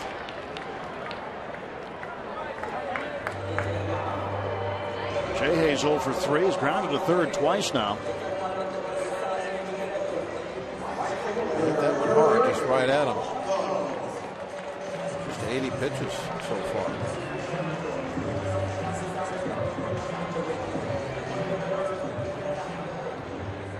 See, uh, Jay Hayes frustrated. Hit it like he wanted to, but no luck with the direction.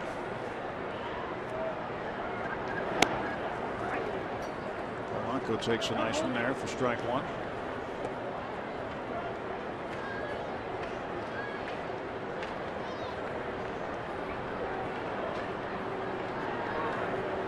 Pitch. And that's strike two. So Gregory finds himself behind in the count.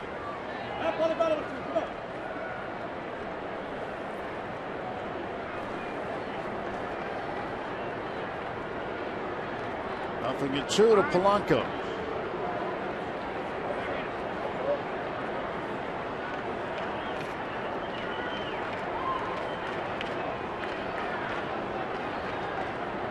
breaking ball on the way. And Gregory rips it into the glove of Cabrera. At it and hit right on the button. Pirates retired in order. We'll move to the seventh.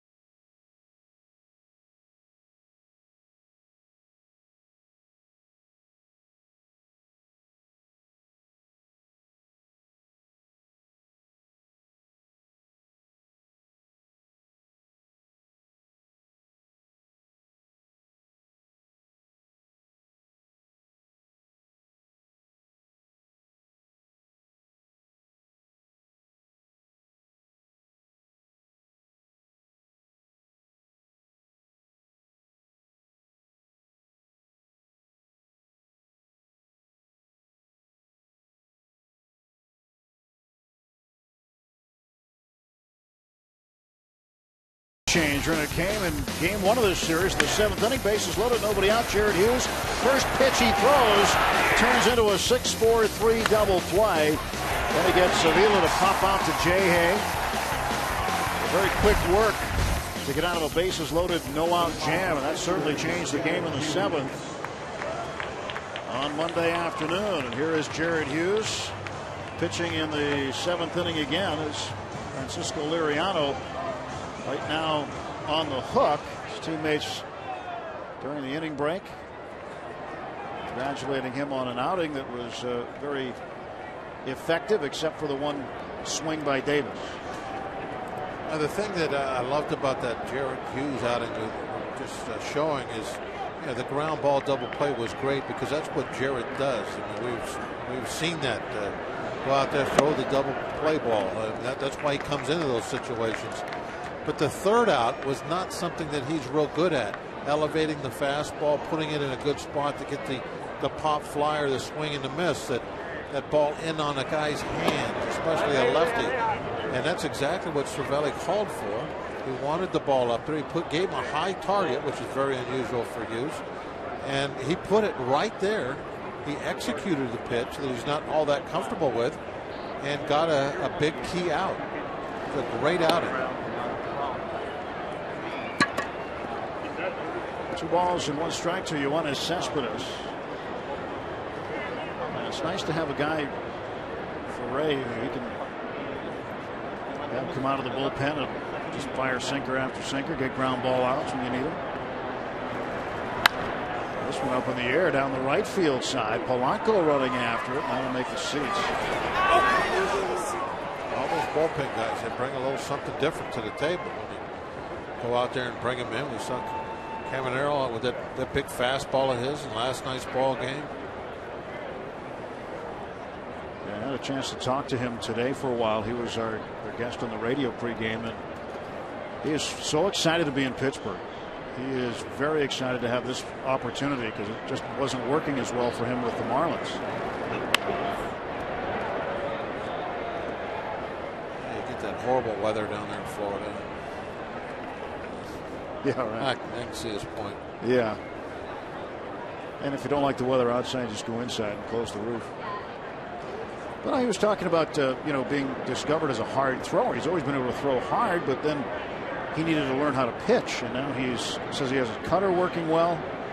His split finger, he's controlling that much better.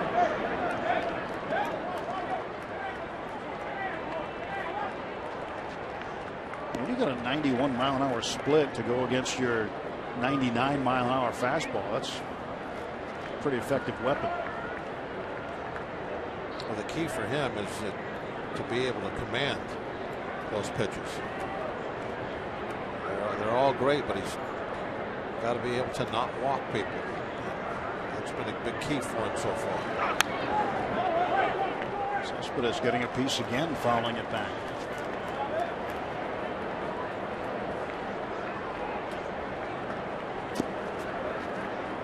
It was an amazing catch he made a while ago. Stride out, snag it. That's going to be a good picture right there. Got the Batman hat on. With the baseball. AJ fan.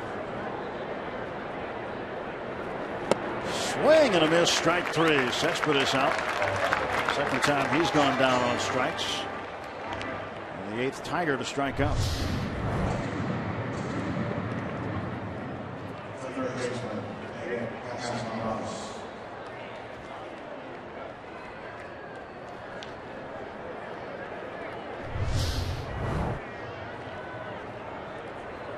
Cervelli was able to apply the tag without any problems. Yep, nobody slapped it out of his hand tonight.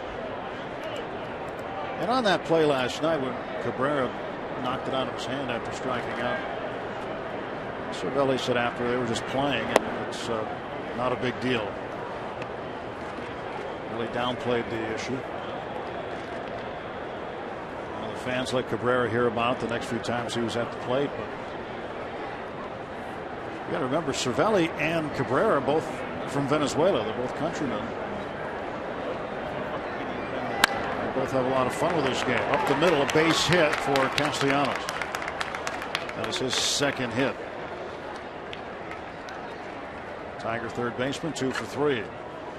Just a reminder as you enjoy a cold one to look forward to Miller time later in tonight's game, brought to you by Miller Lite.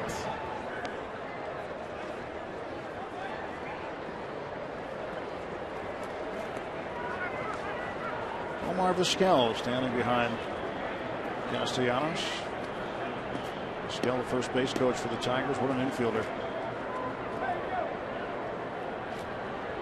Also from Venezuela, like Cabrera and Cervelli.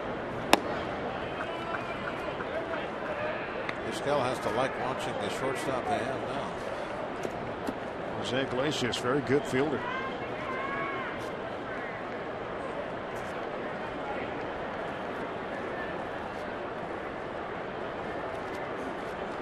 He deck.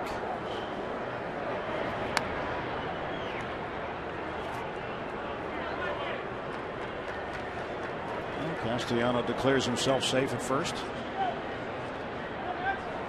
Pulling double duty.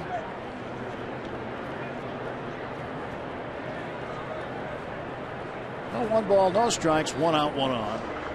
And Jared Hughes ready to deliver. Swing and a miss. Good pitch by Jared. Sink right there at the end, dipping down underneath the bat. Two sink fastball.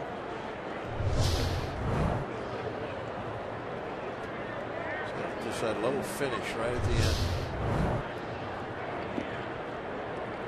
Normally that won't get you a swing and a miss, but it'll get you a ground ball a lot.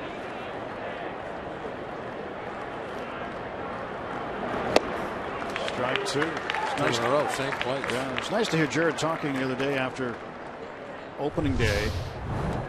He was asked if he ever had thoughts about being a closer. He said, "No, I'm just happy to be pitching in the major leagues."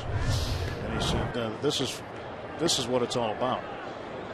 So whatever they want to do with me, whatever role they want me to pitch in, that's what I'm going to do. One two to James McCann. Struck him out. Those are three carbon copy pitches in a row. The same result on every one of them. You see the little cluster there. He swung right over all three of them.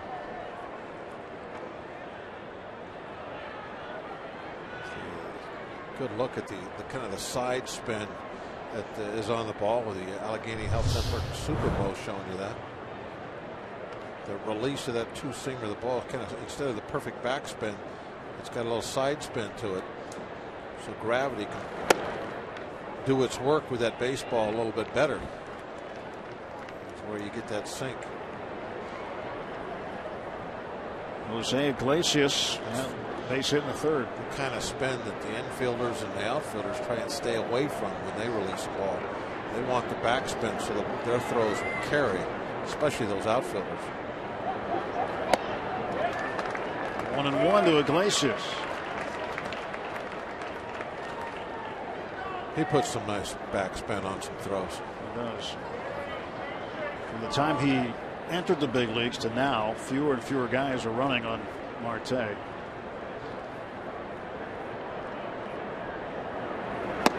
Oh, another good pitch by Hughes.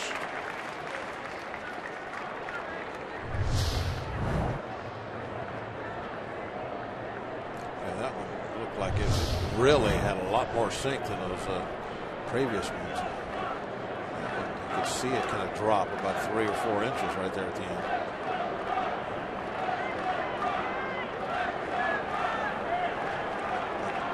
Hughes shook off every sign. A little spin of the number one, that means sinker. One two now. Cervelli couldn't hang on. He, he got part of that. Cervelli's in some pain.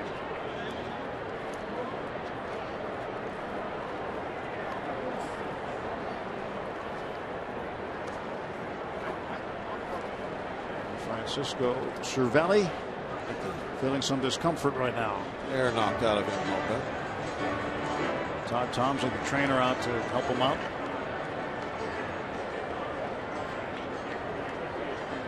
Might take him a minute or so.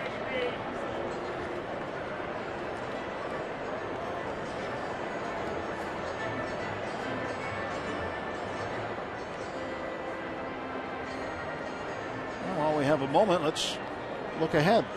Our Nissan Road ahead after the day off tomorrow, Friday. Pre-game show beginning at 6:30. Jimmy Nelson, who pitched very well against the Pirates in Milwaukee, will take on Jeff Locke.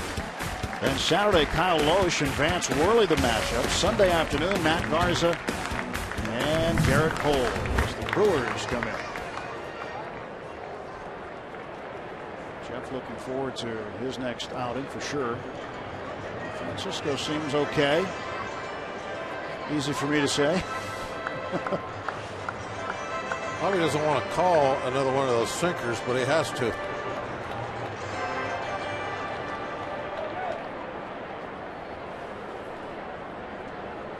A ball and two strikes to the shortstop, Jose Iglesias.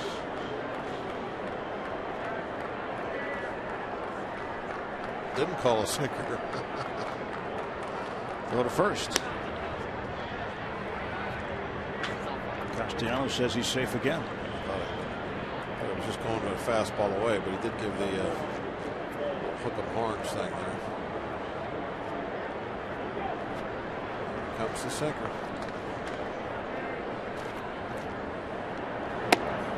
Too far inside. Count is even two and two.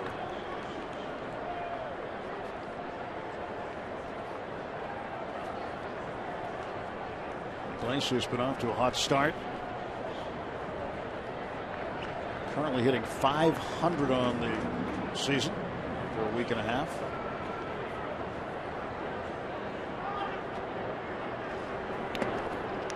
This will fill the count up. Give Castellanos a head start.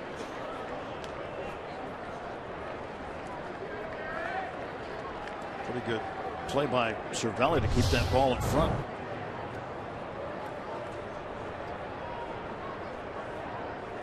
Allegheny Network Supermo slowing it down for us.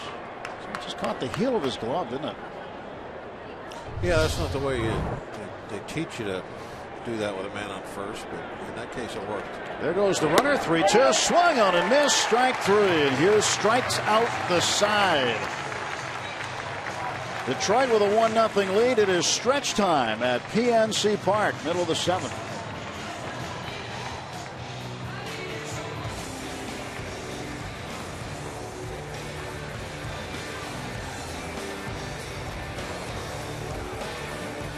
It's time for the seventh inning stretch. We invite you now to stand, follow the bouncing Eat'n Park Smiley Cookie, and join everyone watching at home on Root Sports as we sing Take Me Out to the Ball Game.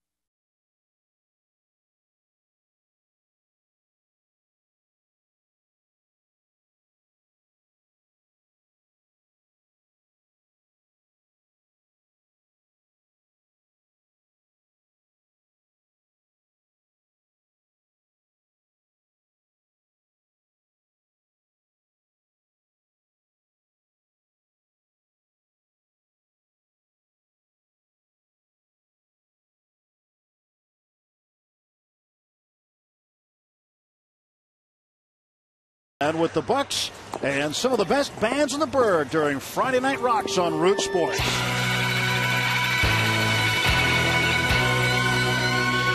Get tuned in as Pittsburgh's music scene is on tap. We showcase local artists and tracks throughout every Friday Night Pirates broadcast. Friday Night Rocks starts this Friday at 6:30 when the Bucs take on the Brewers on Root Sports.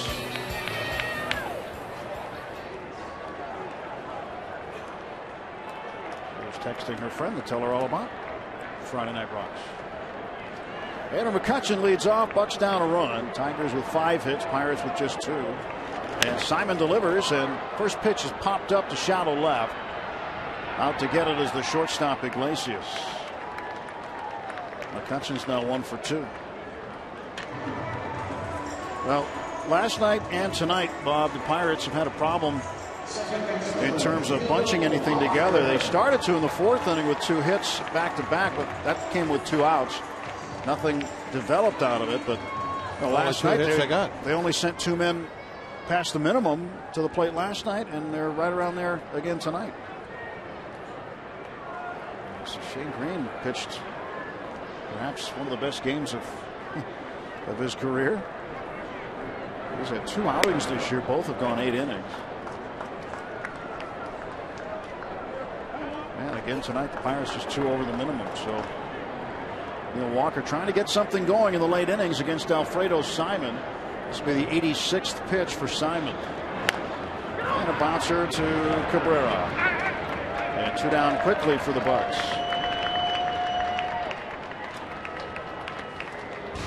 And how about this sneak preview of the dinner tomorrow night? Point Park University tweet. As Steve Blass will be honored by the Lions Club. He'll be getting the Myron Cope Legend in Sports Award. That's right, Steve Blass. Oh, I was hoping he didn't have a jacket on. He's going to have to clear out some more space. I want to see that shirt again one more time tonight. Ah, yes. His camouflage shirt. I don't know if call that camouflage. Not really. You're in a uh, field of dandelions, right? Or a psychedelic dream.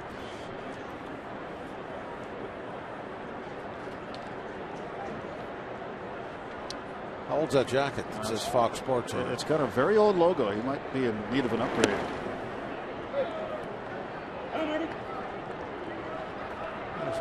Steve doesn't throw much away, I don't think. See, that's some real camo right there. And Steve wasn't wearing that earlier the opposite of that.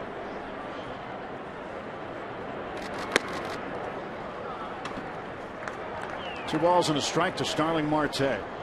Two outs, base is empty.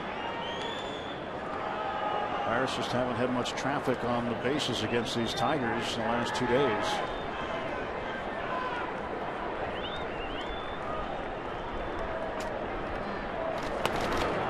Two and two. Tigers, believe it or not, at seven and one, started the day in second place in the American League Central. Kansas City unbeaten at seven and zero.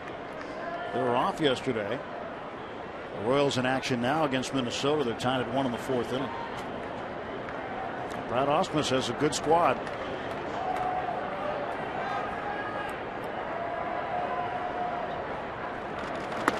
It's up high. Tigers leave here. They go home. They'll take on the White Sox and the Yankees for four, and then Cleveland after that. So they've got a long homestand coming up at Comerica Park.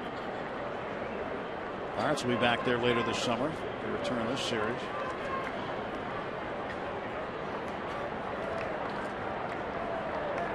Payoff pitch to Marte. Up in the air, shallow right, Kinsler out, and coming on is J.D. Martinez. And the Pirates send just three men to the plate again. Alfredo Simon has things going his way tonight.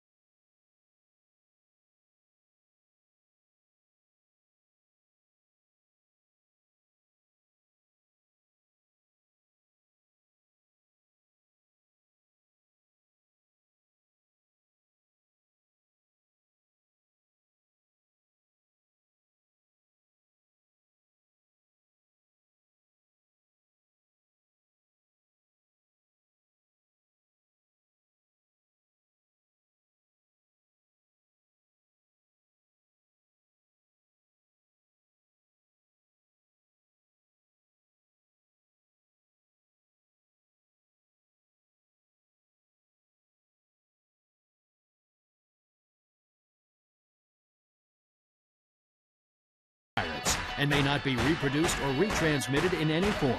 And the accounts and descriptions of this game may not be disseminated without the express written consent of the Pittsburgh Pirates. High back at you as we go to the top of the eighth inning.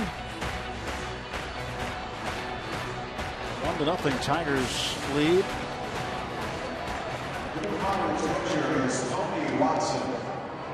Tony Watson comes on for the Buccos to pitch the eighth. He'll face Alfredo Simon. And then the top of the order, Rajai Davis and Ian Kinsler.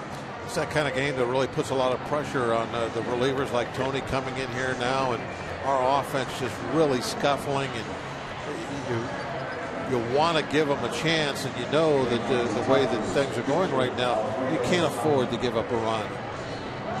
Tony has been in this position uh, so much with the Pirates. He's really uh, just taken off, I think, in this eighth inning role. But there's a lot of pressure that comes with this. It just no way can give up a run. It's almost like a closer type situation. Simon takes a swing and a miss. Well, one thing we've seen, and the reason Simon is still in the ball game right now, we've seen Tiger pitchers go deep for the most part this year, so Brad Ausmus has not had to use the bullpen quite that much. Eight innings yesterday for Greene. And Greene already had an eight inning outing, and he doesn't even have the services of that guy yet. Justin Verlander on the DL. He did throw a sim game here today, simulated game. Nathan's on the DL. Nathan Closer. Closers on the DL.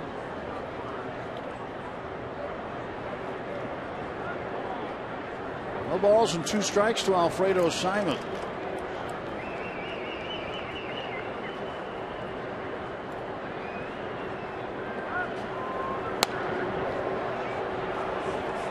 Still 0 2. The Tigers, uh, before they got here, busy proving everybody that they could just go out slug them all.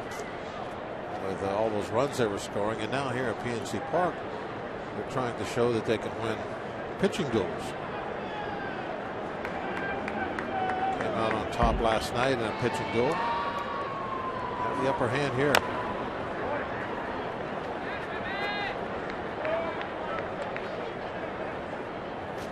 First six wins. They went 6 0 to start the year. The first six wins, they had six or more runs in each game. The closest anybody got to them was three runs. That was their smallest margin of victory. Rajai Davis waiting on deck. Watson's 0 2. Simon hits it right in front of home plate. He's tagged out. That ball is in fair territory right in front of home plate. Cervelli picked it up. Tagged Simon. Now Brad Ausmus will get a clarification.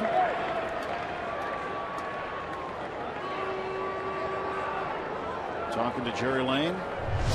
Let's see. Did this ball hit Simon? No. Well, he might have kicked it right here. Nope. It, I don't know what the argument could be. That's a fair ball. It's as fair as they get. that is a two unassisted on the putout. I wonder what Simon thought had happened there. That he thought he was you know, a foul ball. What was his argument?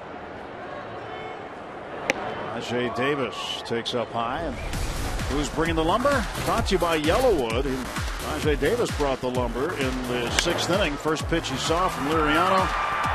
Hit it 392 feet. First home run of the season. That's the difference in the game right now. One nothing ball game late.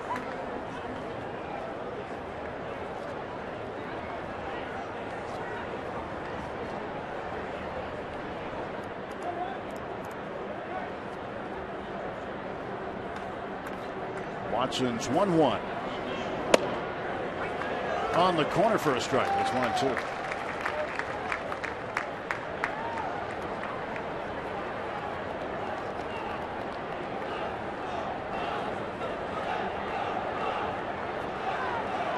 Last pitch.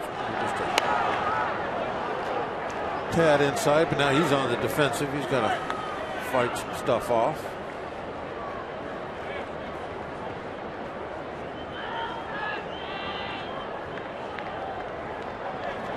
So, you know, Cervelli keeps his eye on him a little bit as he's giving the signs, looking up. Catchers are always making sure that the hitters aren't peeking down at him.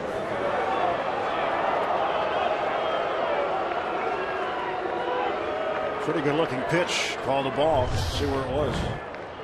A little bit low. On in. Inside a little bit also. 2-2 from Tony Watson to Rajai Davis. Down to third. Harrison handles it nicely and throws him out.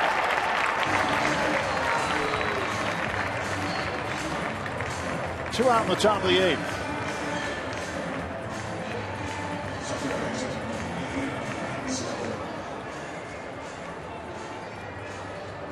This will bring up Ian Kinsler, the second baseman. He's 0 for 3 tonight.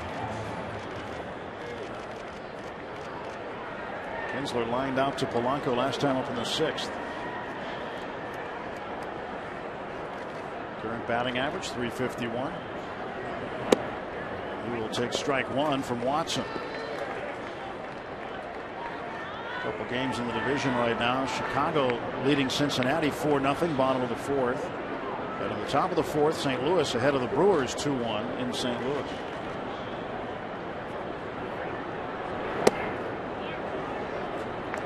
One to Kinsler. Clint Hurdle was talking about him after opening day, and he said that he's about as good a backyard ball player as you're going to find. Of course, Hurdle was his hitting coach in 2010 with Texas. It's this one deep to right field, backing up Polanco, and he makes the catch on the warning track. Pedro Alvarez will lead off for the Pirates in the bottom of the eighth inning. Pedro looking for a big swing. Can El Toro tie it up?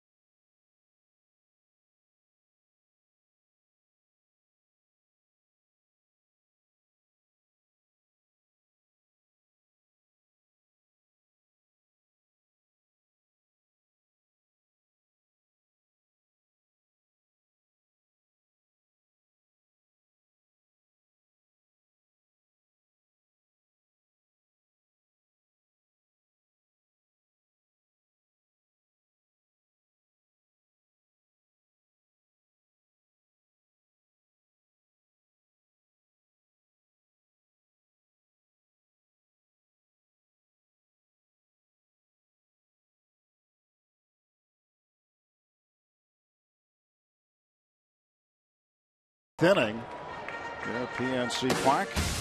Pirates continue this homestand as they open up a three-game set against Milwaukee. See Jeff Locke take the mound for the Bucs in this first game of the series Friday, starting at 6:30 with Pirates pregame presented by WB Mason. And Pedro facing Alfredo Simon takes ball one. Well, there's been action in the Detroit bullpen uh, ever since the little uh, talk at the plate about the Simon's uh, at bat. 1 pitches inside 2 0. That was the 94th pitch. So he's going to be on a short leash this inning, I would think. Joba Chamberlain warming up. One of those situations where if he keeps getting them out in a one, two, three fashion, he'll probably stay. But Pirates get anything going, I think they're going to go to the pen. Two balls and a strike now to Alvarez. Pedro can change the game with a swing. The Tigers are giving him the entire left side of the infield. They've shifted all the way over to the right. Pedro fouls it off to the left and out of play, two and two.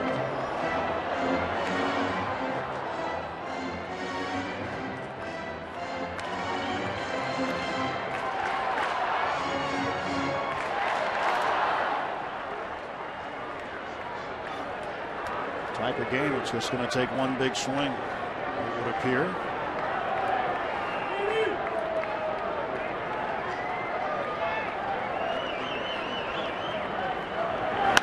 And a ground ball, Kinsler there. One out. Now that's the the ground ball where the shift really pays off.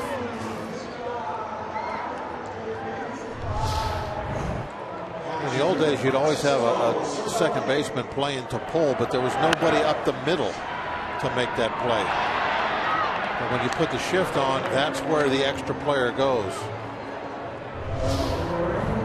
He can uh, he can play what would be normally called a second base position, shading up the middle. So that takes away that turns that ground ball that used to be a hit into an out. Francisco Cervelli's 0 for 2. He's flied out to Rajai Davis in center field twice. Because even if you had the shortstop playing almost dead up the middle, that one still goes through.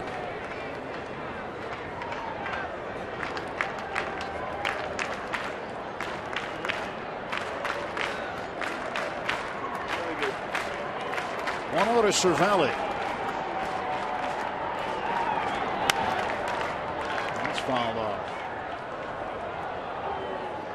Well, you mentioned it during the game. You talked about it in the pregame, Bob. hitters have to adjust to the shift. And we did see Pedro working hard on going the other way during spring training. He did it successfully a number of times. Yeah. A, guy like Pedro, though, it's it's kind of tough because he's such a power threat. You were just saying it, how I mean, he can get you a run just one swing of the bat. So do you really want him to lead off the inning with a single? The other side of the coin is up in Milwaukee, he led off the inning with a single, a ground ball through the left side that was wide open. You remember that inning? Yeah. We scored six runs in that inning. It was the ninth inning.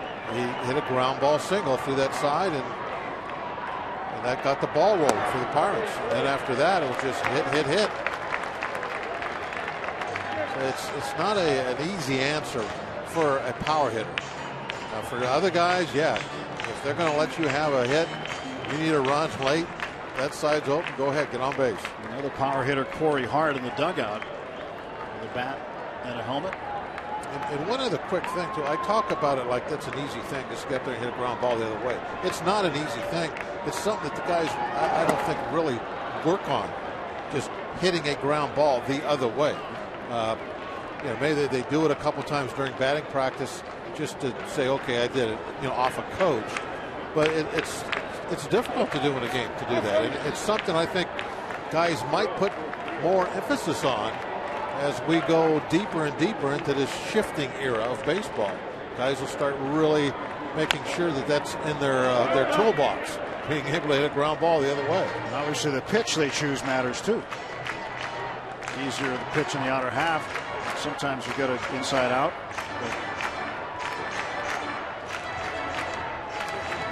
JD Martinez did that against the shift. He went the other way in the second inning when he led off with a first pitch base hit. Yeah, he's definitely a home run type guy, too. Leads a team in home runs. Cervelli up in the air to center field, going back Davis. He's got room. And for the third time tonight, Francisco Cervelli flies to center. Two down, bottom of the eighth. Alfredo Simon right now twirling a two-hit shutout. And Jordy Mercer wants to have a say in it right now. He's 0 for 2. Flying to right, struck out.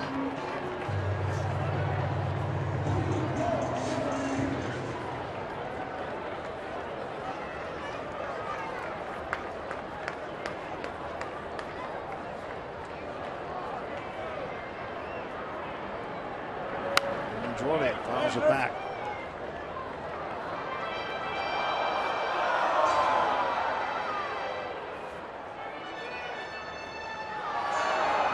Went to spring training, left there, went to Philadelphia for two exhibition games, and opened on the road, six on the road, Cincinnati, Milwaukee. Come home, you get perhaps the best team in the American League, the Tigers. And they'll have a well earned day off tomorrow. But it's going to be tough every night. That's why it's the big leagues.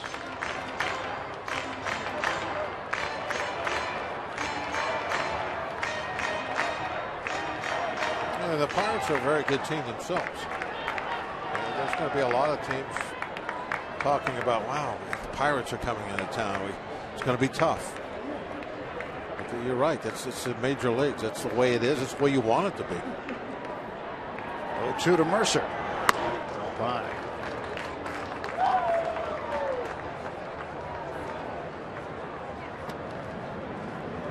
Hundred and seven pitches for Simon.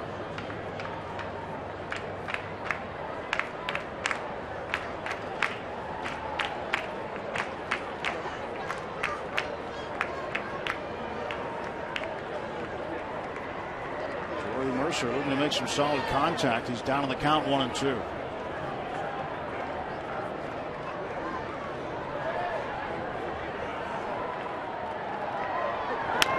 And a bounding ball to short. Iglesias throws him out. Still, just two over the minimum have come to the plate through eight full innings. One nothing Detroit.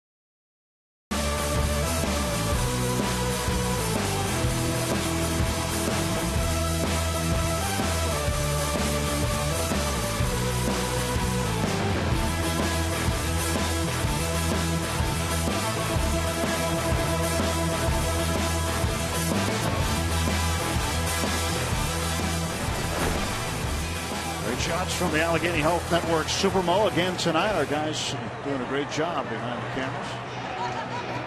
One run, five hits for the Tigers. No runs, two hits for the Pirates. Top of the ninth inning.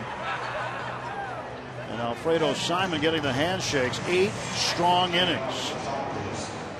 Just two hits. And emulating starting pitcher last night, Shane Greene, with facing just two over the minimum. They're taking a look now at, uh, at Melancon's stats. Not what we normally see uh, from Mark, that's for sure, especially that opponent batting average up there at 385. But there's so few innings pitched that those numbers will move around quick. And I think what everybody is going to be looking for tonight is this see what kind of pop he has on that fastball or the cutter.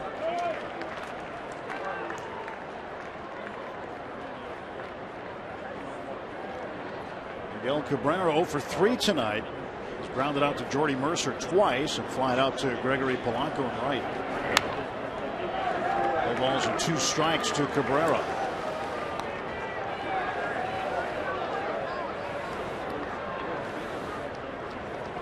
The Pirates are keeping an eye on the velocity of Mark. See if it's uh, going to go up a little bit. It was down a little bit in his last outing. Right field side, and that's a foul ball. Yeah, I think it's been down and uh, really through spring training, and they just haven't had that real good zip, the finish on the cutter yet. It is not uncommon for guys to, to go through a, a little down period with their velocity. It happens to just about everybody at, at some point.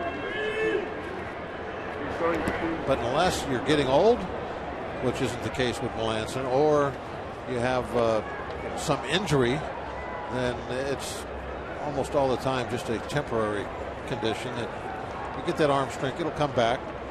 And with Mark, it's, we're only talking a couple miles per hour. And what that does for you is it just gives you a little bit more bite on that cutter, a little less time for the uh, the hitter to make his decisions.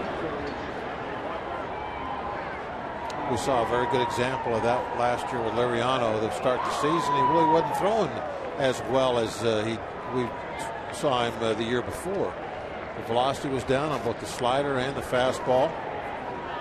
But then the second half of the season, he got well. He was perfectly healthy. Velocity came back up, and he had a, an outstanding second half of the year. Great run down the stretch.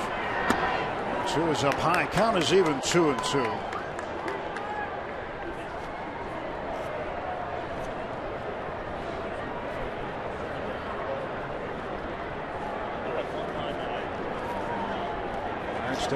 Down 1 0 in the ninth. Uh, Rajai Davis, sixth inning, solo homer, the difference.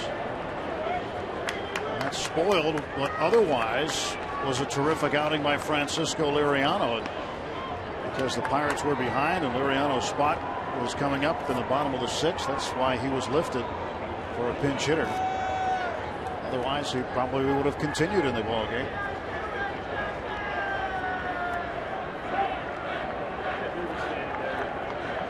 2 to Cabrera.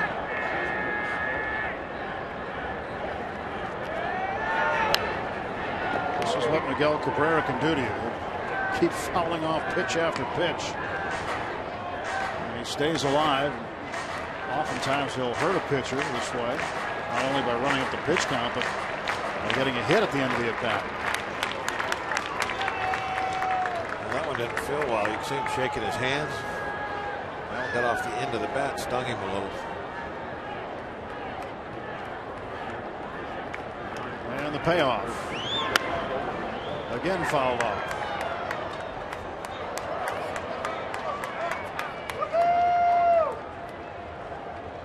Very disciplined hitter when it comes to his approach.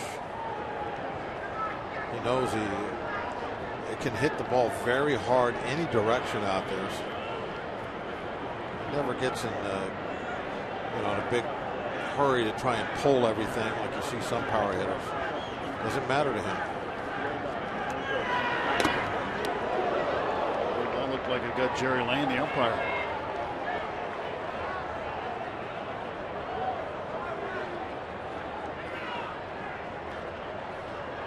And the first base umpire, Hunter Wendelstedt's coming in.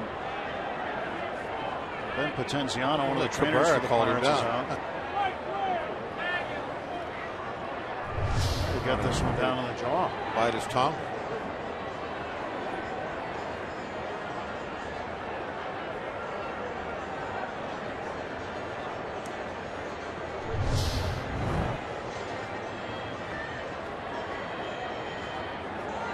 Those masks are built to take the hit, and oftentimes you get hit straight on, you're not going to feel it very much, but if you get hit just right, you're going to feel it.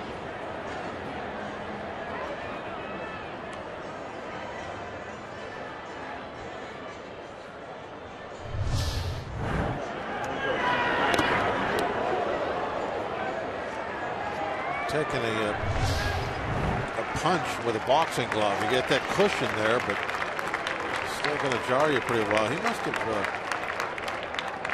something either bit his tongue, something with a tooth, maybe. Well, veteran umpire Jerry Layne being helped off. So you assume at this point they'll be finishing this game with three umpires. And Hunter Wendelstedt apparently will go put the gear on and will move behind home plate.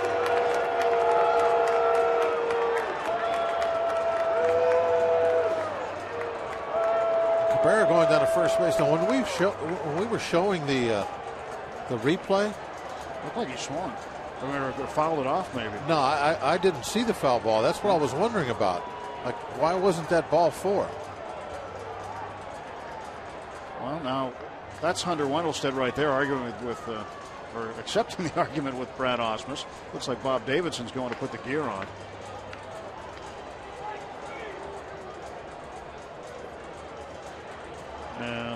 They could settle this. They're just looking at the replay, perhaps. Well, actually, you cannot call a pitch with the replay, so you can't use it for this particular item, but we're going to show you. Now, when I saw this first time, I, I didn't see it hit the bat. I think this goes straight off the glove. It's up out of the strike zone, the 10th pitch.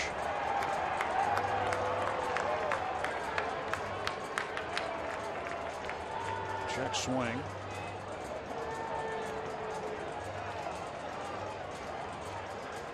So is that ball four? That would be ball four. It was a 3 2 pitch. Mm-hmm. And of course, Jerry Layne, you know, temporarily incapacitated, couldn't make the call. So, so what is the call? You know, I, that's what I think. That's what Cabrera was uh, was asking. Like everybody was looking at her. See, he's making the safe sign. Was it did, did I swing or not? That's what Cabrera was asking. It's either strike three or ball four. Uh, if, am I seeing that right? It's got to be correct. so. And if they decide it's a foul ball, he'll get back up there. But you're right; those are the only three possibilities. And it looks like he's putting his shin guard back on, getting ready to, to huh. hit. Huh. Yeah, everybody's laughing about it back behind the plate.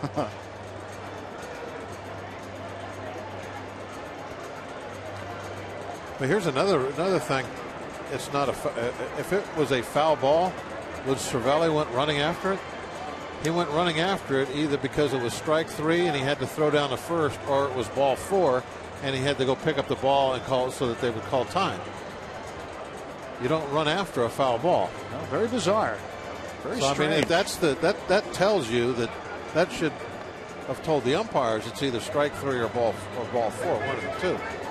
Because if we, you watch the replay, Cervelli goes after it like he thinks it was either ball four or strike three.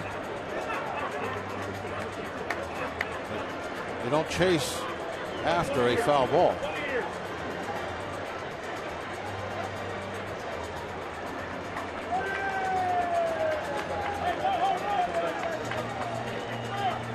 So in the meantime, Mark Melancon has to continue to keep his arm loose during this delay while Bob Davidson goes and puts the uh, home plate umpire. Watch Cervelli in this replay. And uh, his reaction is either ball four or strike three. See? I mean, he, he's not going after a foul ball. See, he wants a check swing call. He, he's he's going to say he swung at it. He wants a strike three, or he still has to, if it's ball four, he's got to run after it too. if that's a foul ball, he's not chasing that over toward the dugout.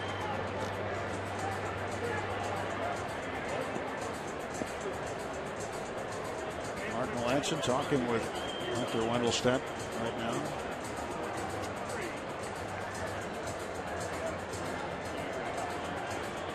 And we await the emergence of the other two umpires, David Rackley and Bob Davidson. We'll finish the game with three umpires, and we hope that Jerry Layne is okay.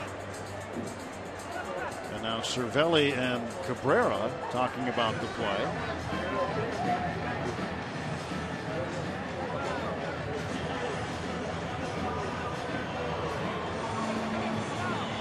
Different points of view, perhaps. Uh, it's either your point of view is either, I mean, with, the, with that conversation there, it was either, yeah, you swung at it you should be struck out, or no, I didn't swing at it and it should have been ball four. That's what they're uh, got to be arguing about. Not arguing, but just kind of talking to each other.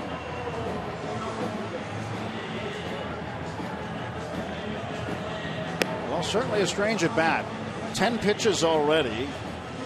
A pitch that might have been strike three or ball four, but apparently the only thing we can assume is that it was ruled a foul ball.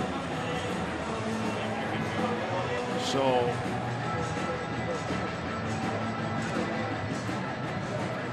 we, uh, we wait now, and David Rackley comes out. He'll remain one of the base umpires.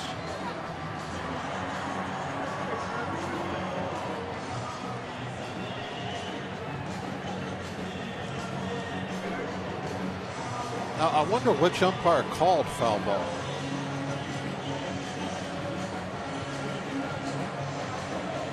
I mean, somebody had to make a call that it was a foul ball. I wonder which umpire did that.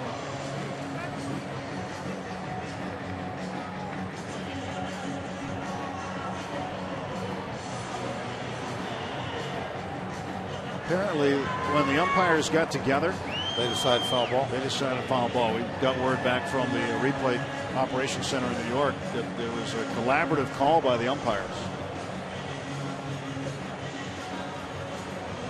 And again, that's nothing that is reviewable. That's not a reviewable situation. So it's not like video replay will change the call. We can show it to you, and you can see what you want to see on it and make your own decision. But the call in the game is a foul ball, so Miguel Cabrera is going to get at least an 11th pitch. Mark Melancon waiting patiently. What about Mark? What does this do to a pitcher? oh, you, you absolutely hate this. Having to stand out there and wait. I'm sure they gave Mark the option. He can go and sit in the dugout uh, while uh, you, you have this stoppage in play.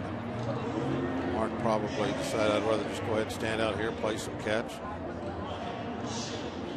In the meantime, Cabrera having some conversations with Pirates fans over near the on deck. Cervelli is talking with somebody uh, in the uh, Tiger dugout. That's what all that conversation that we saw with him.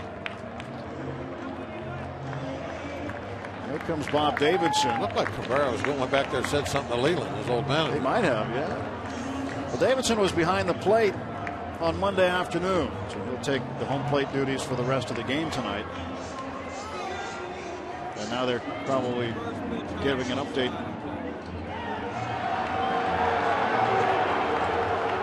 And Bob Davidson comes out and tells Cabrera to go to first base. And now Clint Hurdle is not going to be happy about this. After they had already ruled it a foul ball, Bob Davidson walks out, takes over, and says, Go down to first base.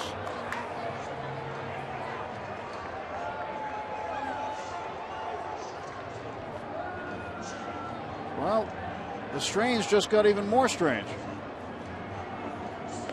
Well, now, you know what I would do now? Now I would appeal, say, did he swing? Right? Why not? they haven't uh, had an appeal yet. They've asked, but they didn't get. Now, now that you know that it was called ball four, maybe now they would appeal. But after watching the bat, I don't think that they would call a swing on that. Doesn't look like he swung very, very far.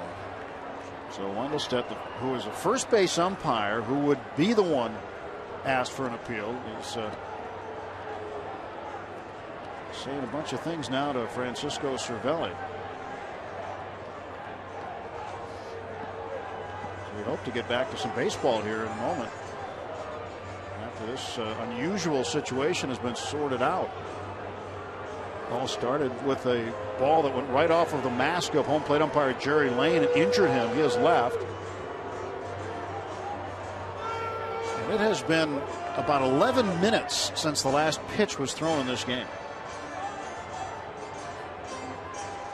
Well, after watching the replay, to, to be totally honest, I think that if eventually they got to play right. After watching that replay, it looked like ball four to me. I don't know what you saw, but I, I even originally thought, okay, that's got to be ball four because I didn't see a swing. Here it is again. It definitely doesn't hit the bat, and I don't see a swing that you could call where you would say, yeah, he swung at that. Bob Davidson comes out with a gear on. The very first thing he does after talking to his fellow umpires is award Cabrera first base.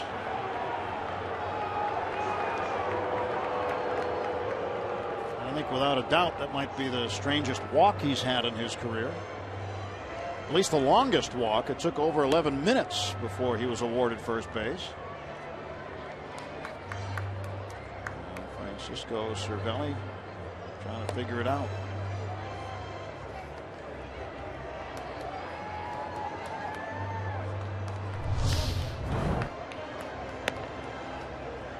The top of the ninth inning, nobody out. Cabrera was the first batter of the inning, by the way. Melancon will be allowed to warm up a little bit more. I know it you know, as a Pirate fan, uh, you don't like to see him down at first base, but well, like I said, I think the, the, umpires got that one right.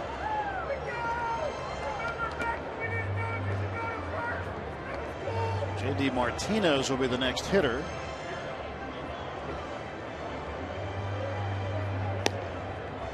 With a 1 0 lead. They've got the leadoff man aboard here in the ninth.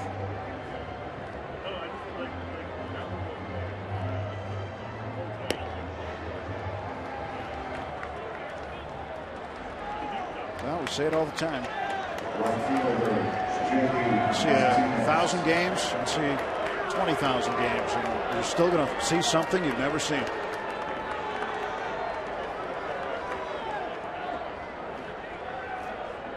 Bob Davidson now calling the balls and strikes, and J.D. Martinez at the plate. He's one for three. A 13 and a half minute delay, if you will. Short rain delay. Yeah.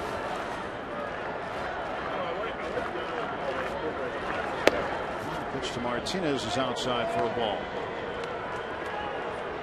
Well, double play would clean things up nicely. See if Mark can get a ground ball out of Martinez.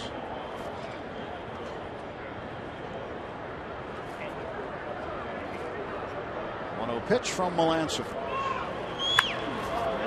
ground ball. Fly ball to left. Plenty room for Marte and one out.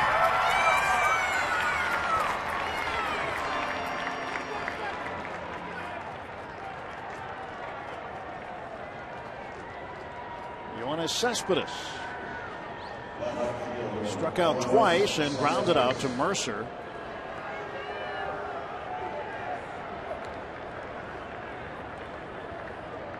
16 average, no homers, three runs batted in. Some of these uh, gaudy batting averages that the Tigers brought in are starting to come down a little bit. Yeah. Still very respectable, but sure their, their hitting numbers not like they were when they got here.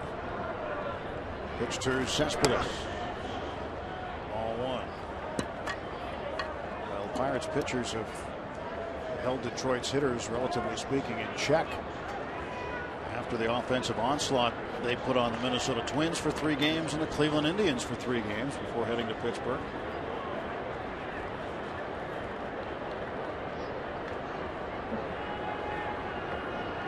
The 1 0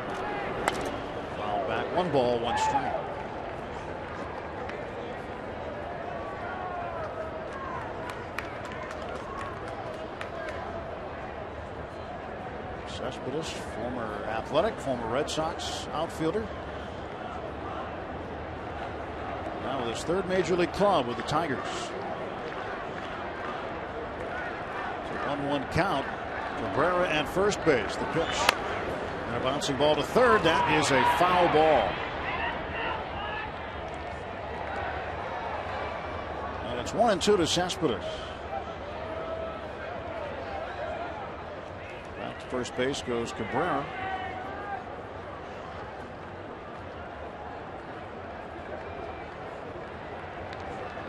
They almost got the ground ball to third they wanted. They might have ended the inning with an around the horn double play. The last inning, I was talking about how you know there's pressure, even though that you don't have a lead in these situations. You just can't afford to give up another run. Now, I was talking about Tony Watson, well, that's certainly true here in, in the ninth. Same situation. Got to keep this a one-run ball game. Get that double play. Ground ball to third. There's one. There's two. Last raps for the Buccos. Down a run, heading to the bottom of the ninth.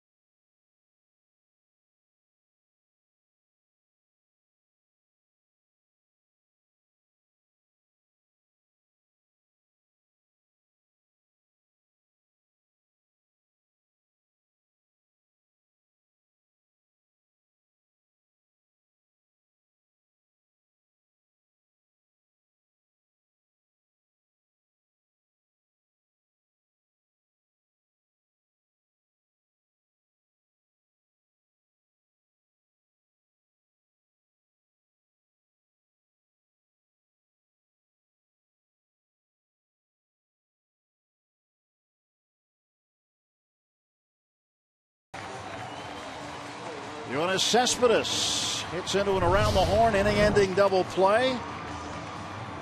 A real fine job uh, by Jay Hay to get this one started. Quickly to his backhand, real smooth with the catch. Good quick delivery over toward Walker. Walker did his his job with a nice turn at second. That is our Chick-fil-A double play. Just in time. Well, that might be a huge play in this ball game, being able to turn two.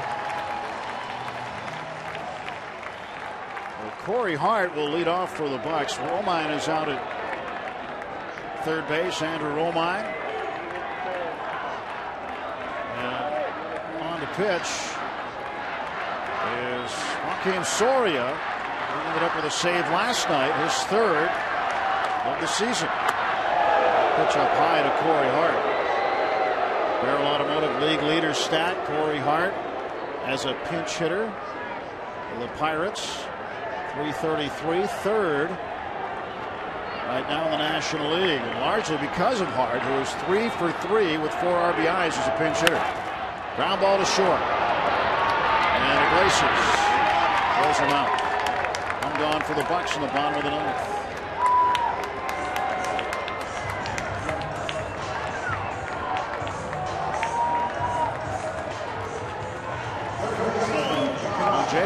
matchup. Jay homered two days ago on opening day, the first pitch he saw.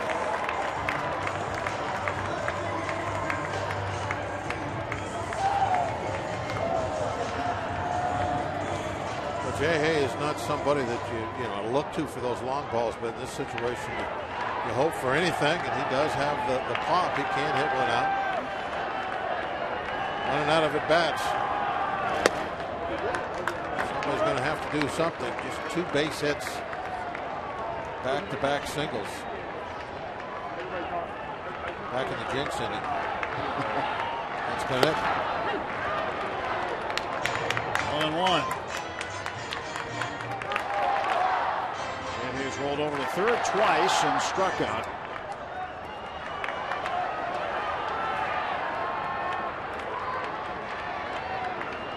Soria's pitch.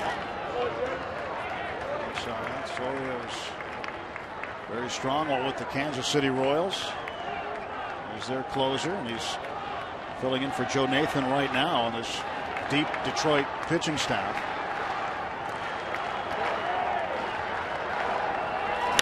And Jay hits one in the air to left. Cespedes will catch it for the second out. Pirates down to their final out tonight.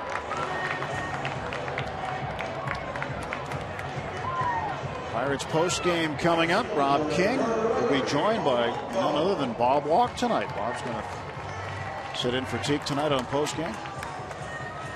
He scooped down there right after the final out, hoping it's uh, maybe not going to be a final out. How about a, a final hit? The pitch, and Polanco takes a strike. Yep, blooping a blast time right now for the we're Buccos. Gonna, you realize we're going to win this game. There can't be a final out. Whether it's this inning, the tenth inning, eleventh, that doesn't matter. That could be the final. You're right, the final hit. Well, after the conclusion of the game, how's that? Whichever way it goes, you will be there with Rob. The Bucs now down to their last strike. It's 0 2. What a night for Alfredo Simon on the hill for the Tigers. A strike away from sneaking out of here with a series win.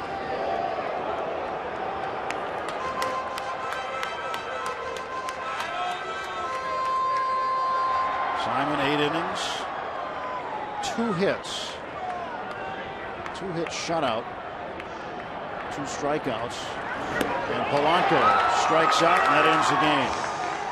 For the second straight night, the Pirates just two over the minimum at the plate. And it's Rajai Davis for the second night in a row driving in the game winning run. His solo home run in the sixth inning stood up. Pitchers duel again here tonight, won by the Tigers, one to nothing the final. Well, when this series started, uh, you know, looking at the Tigers coming in and what they were doing with the bats, I'm, I'm sure I wasn't alone in thinking, wow, we're going to have to uh, to kind of out hit these guys. That uh, we're going to have to put our offense on display, but that is not the way this series went. Uh, it was all about pitching, both clubs, and uh, not really a whole lot of offense tonight on either side.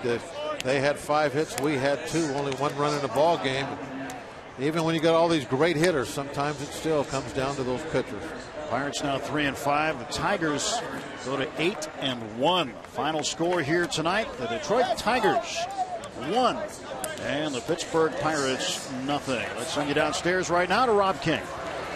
Tim and Bob, thanks very much. As the guys mentioned, Bob Walk will be joining me for the post-game show. Kent Tekulve the night off. He will be back over the course of the weekend. The Pirates losing by the final score of one to nothing. Francisco Liriano, a great effort, but as we promised earlier in the game, it's Miller time, presented by Miller Lite, and it was the only real damage that Francisco Liriano gave up that either pitcher gave up, and it was Rajai Davis in the top of the sixth inning, the one-time Pirate. Traded for Matt Morris many moons ago. He hits the home run his first of the year, and that supplied Detroit with a 1 0 victory tonight.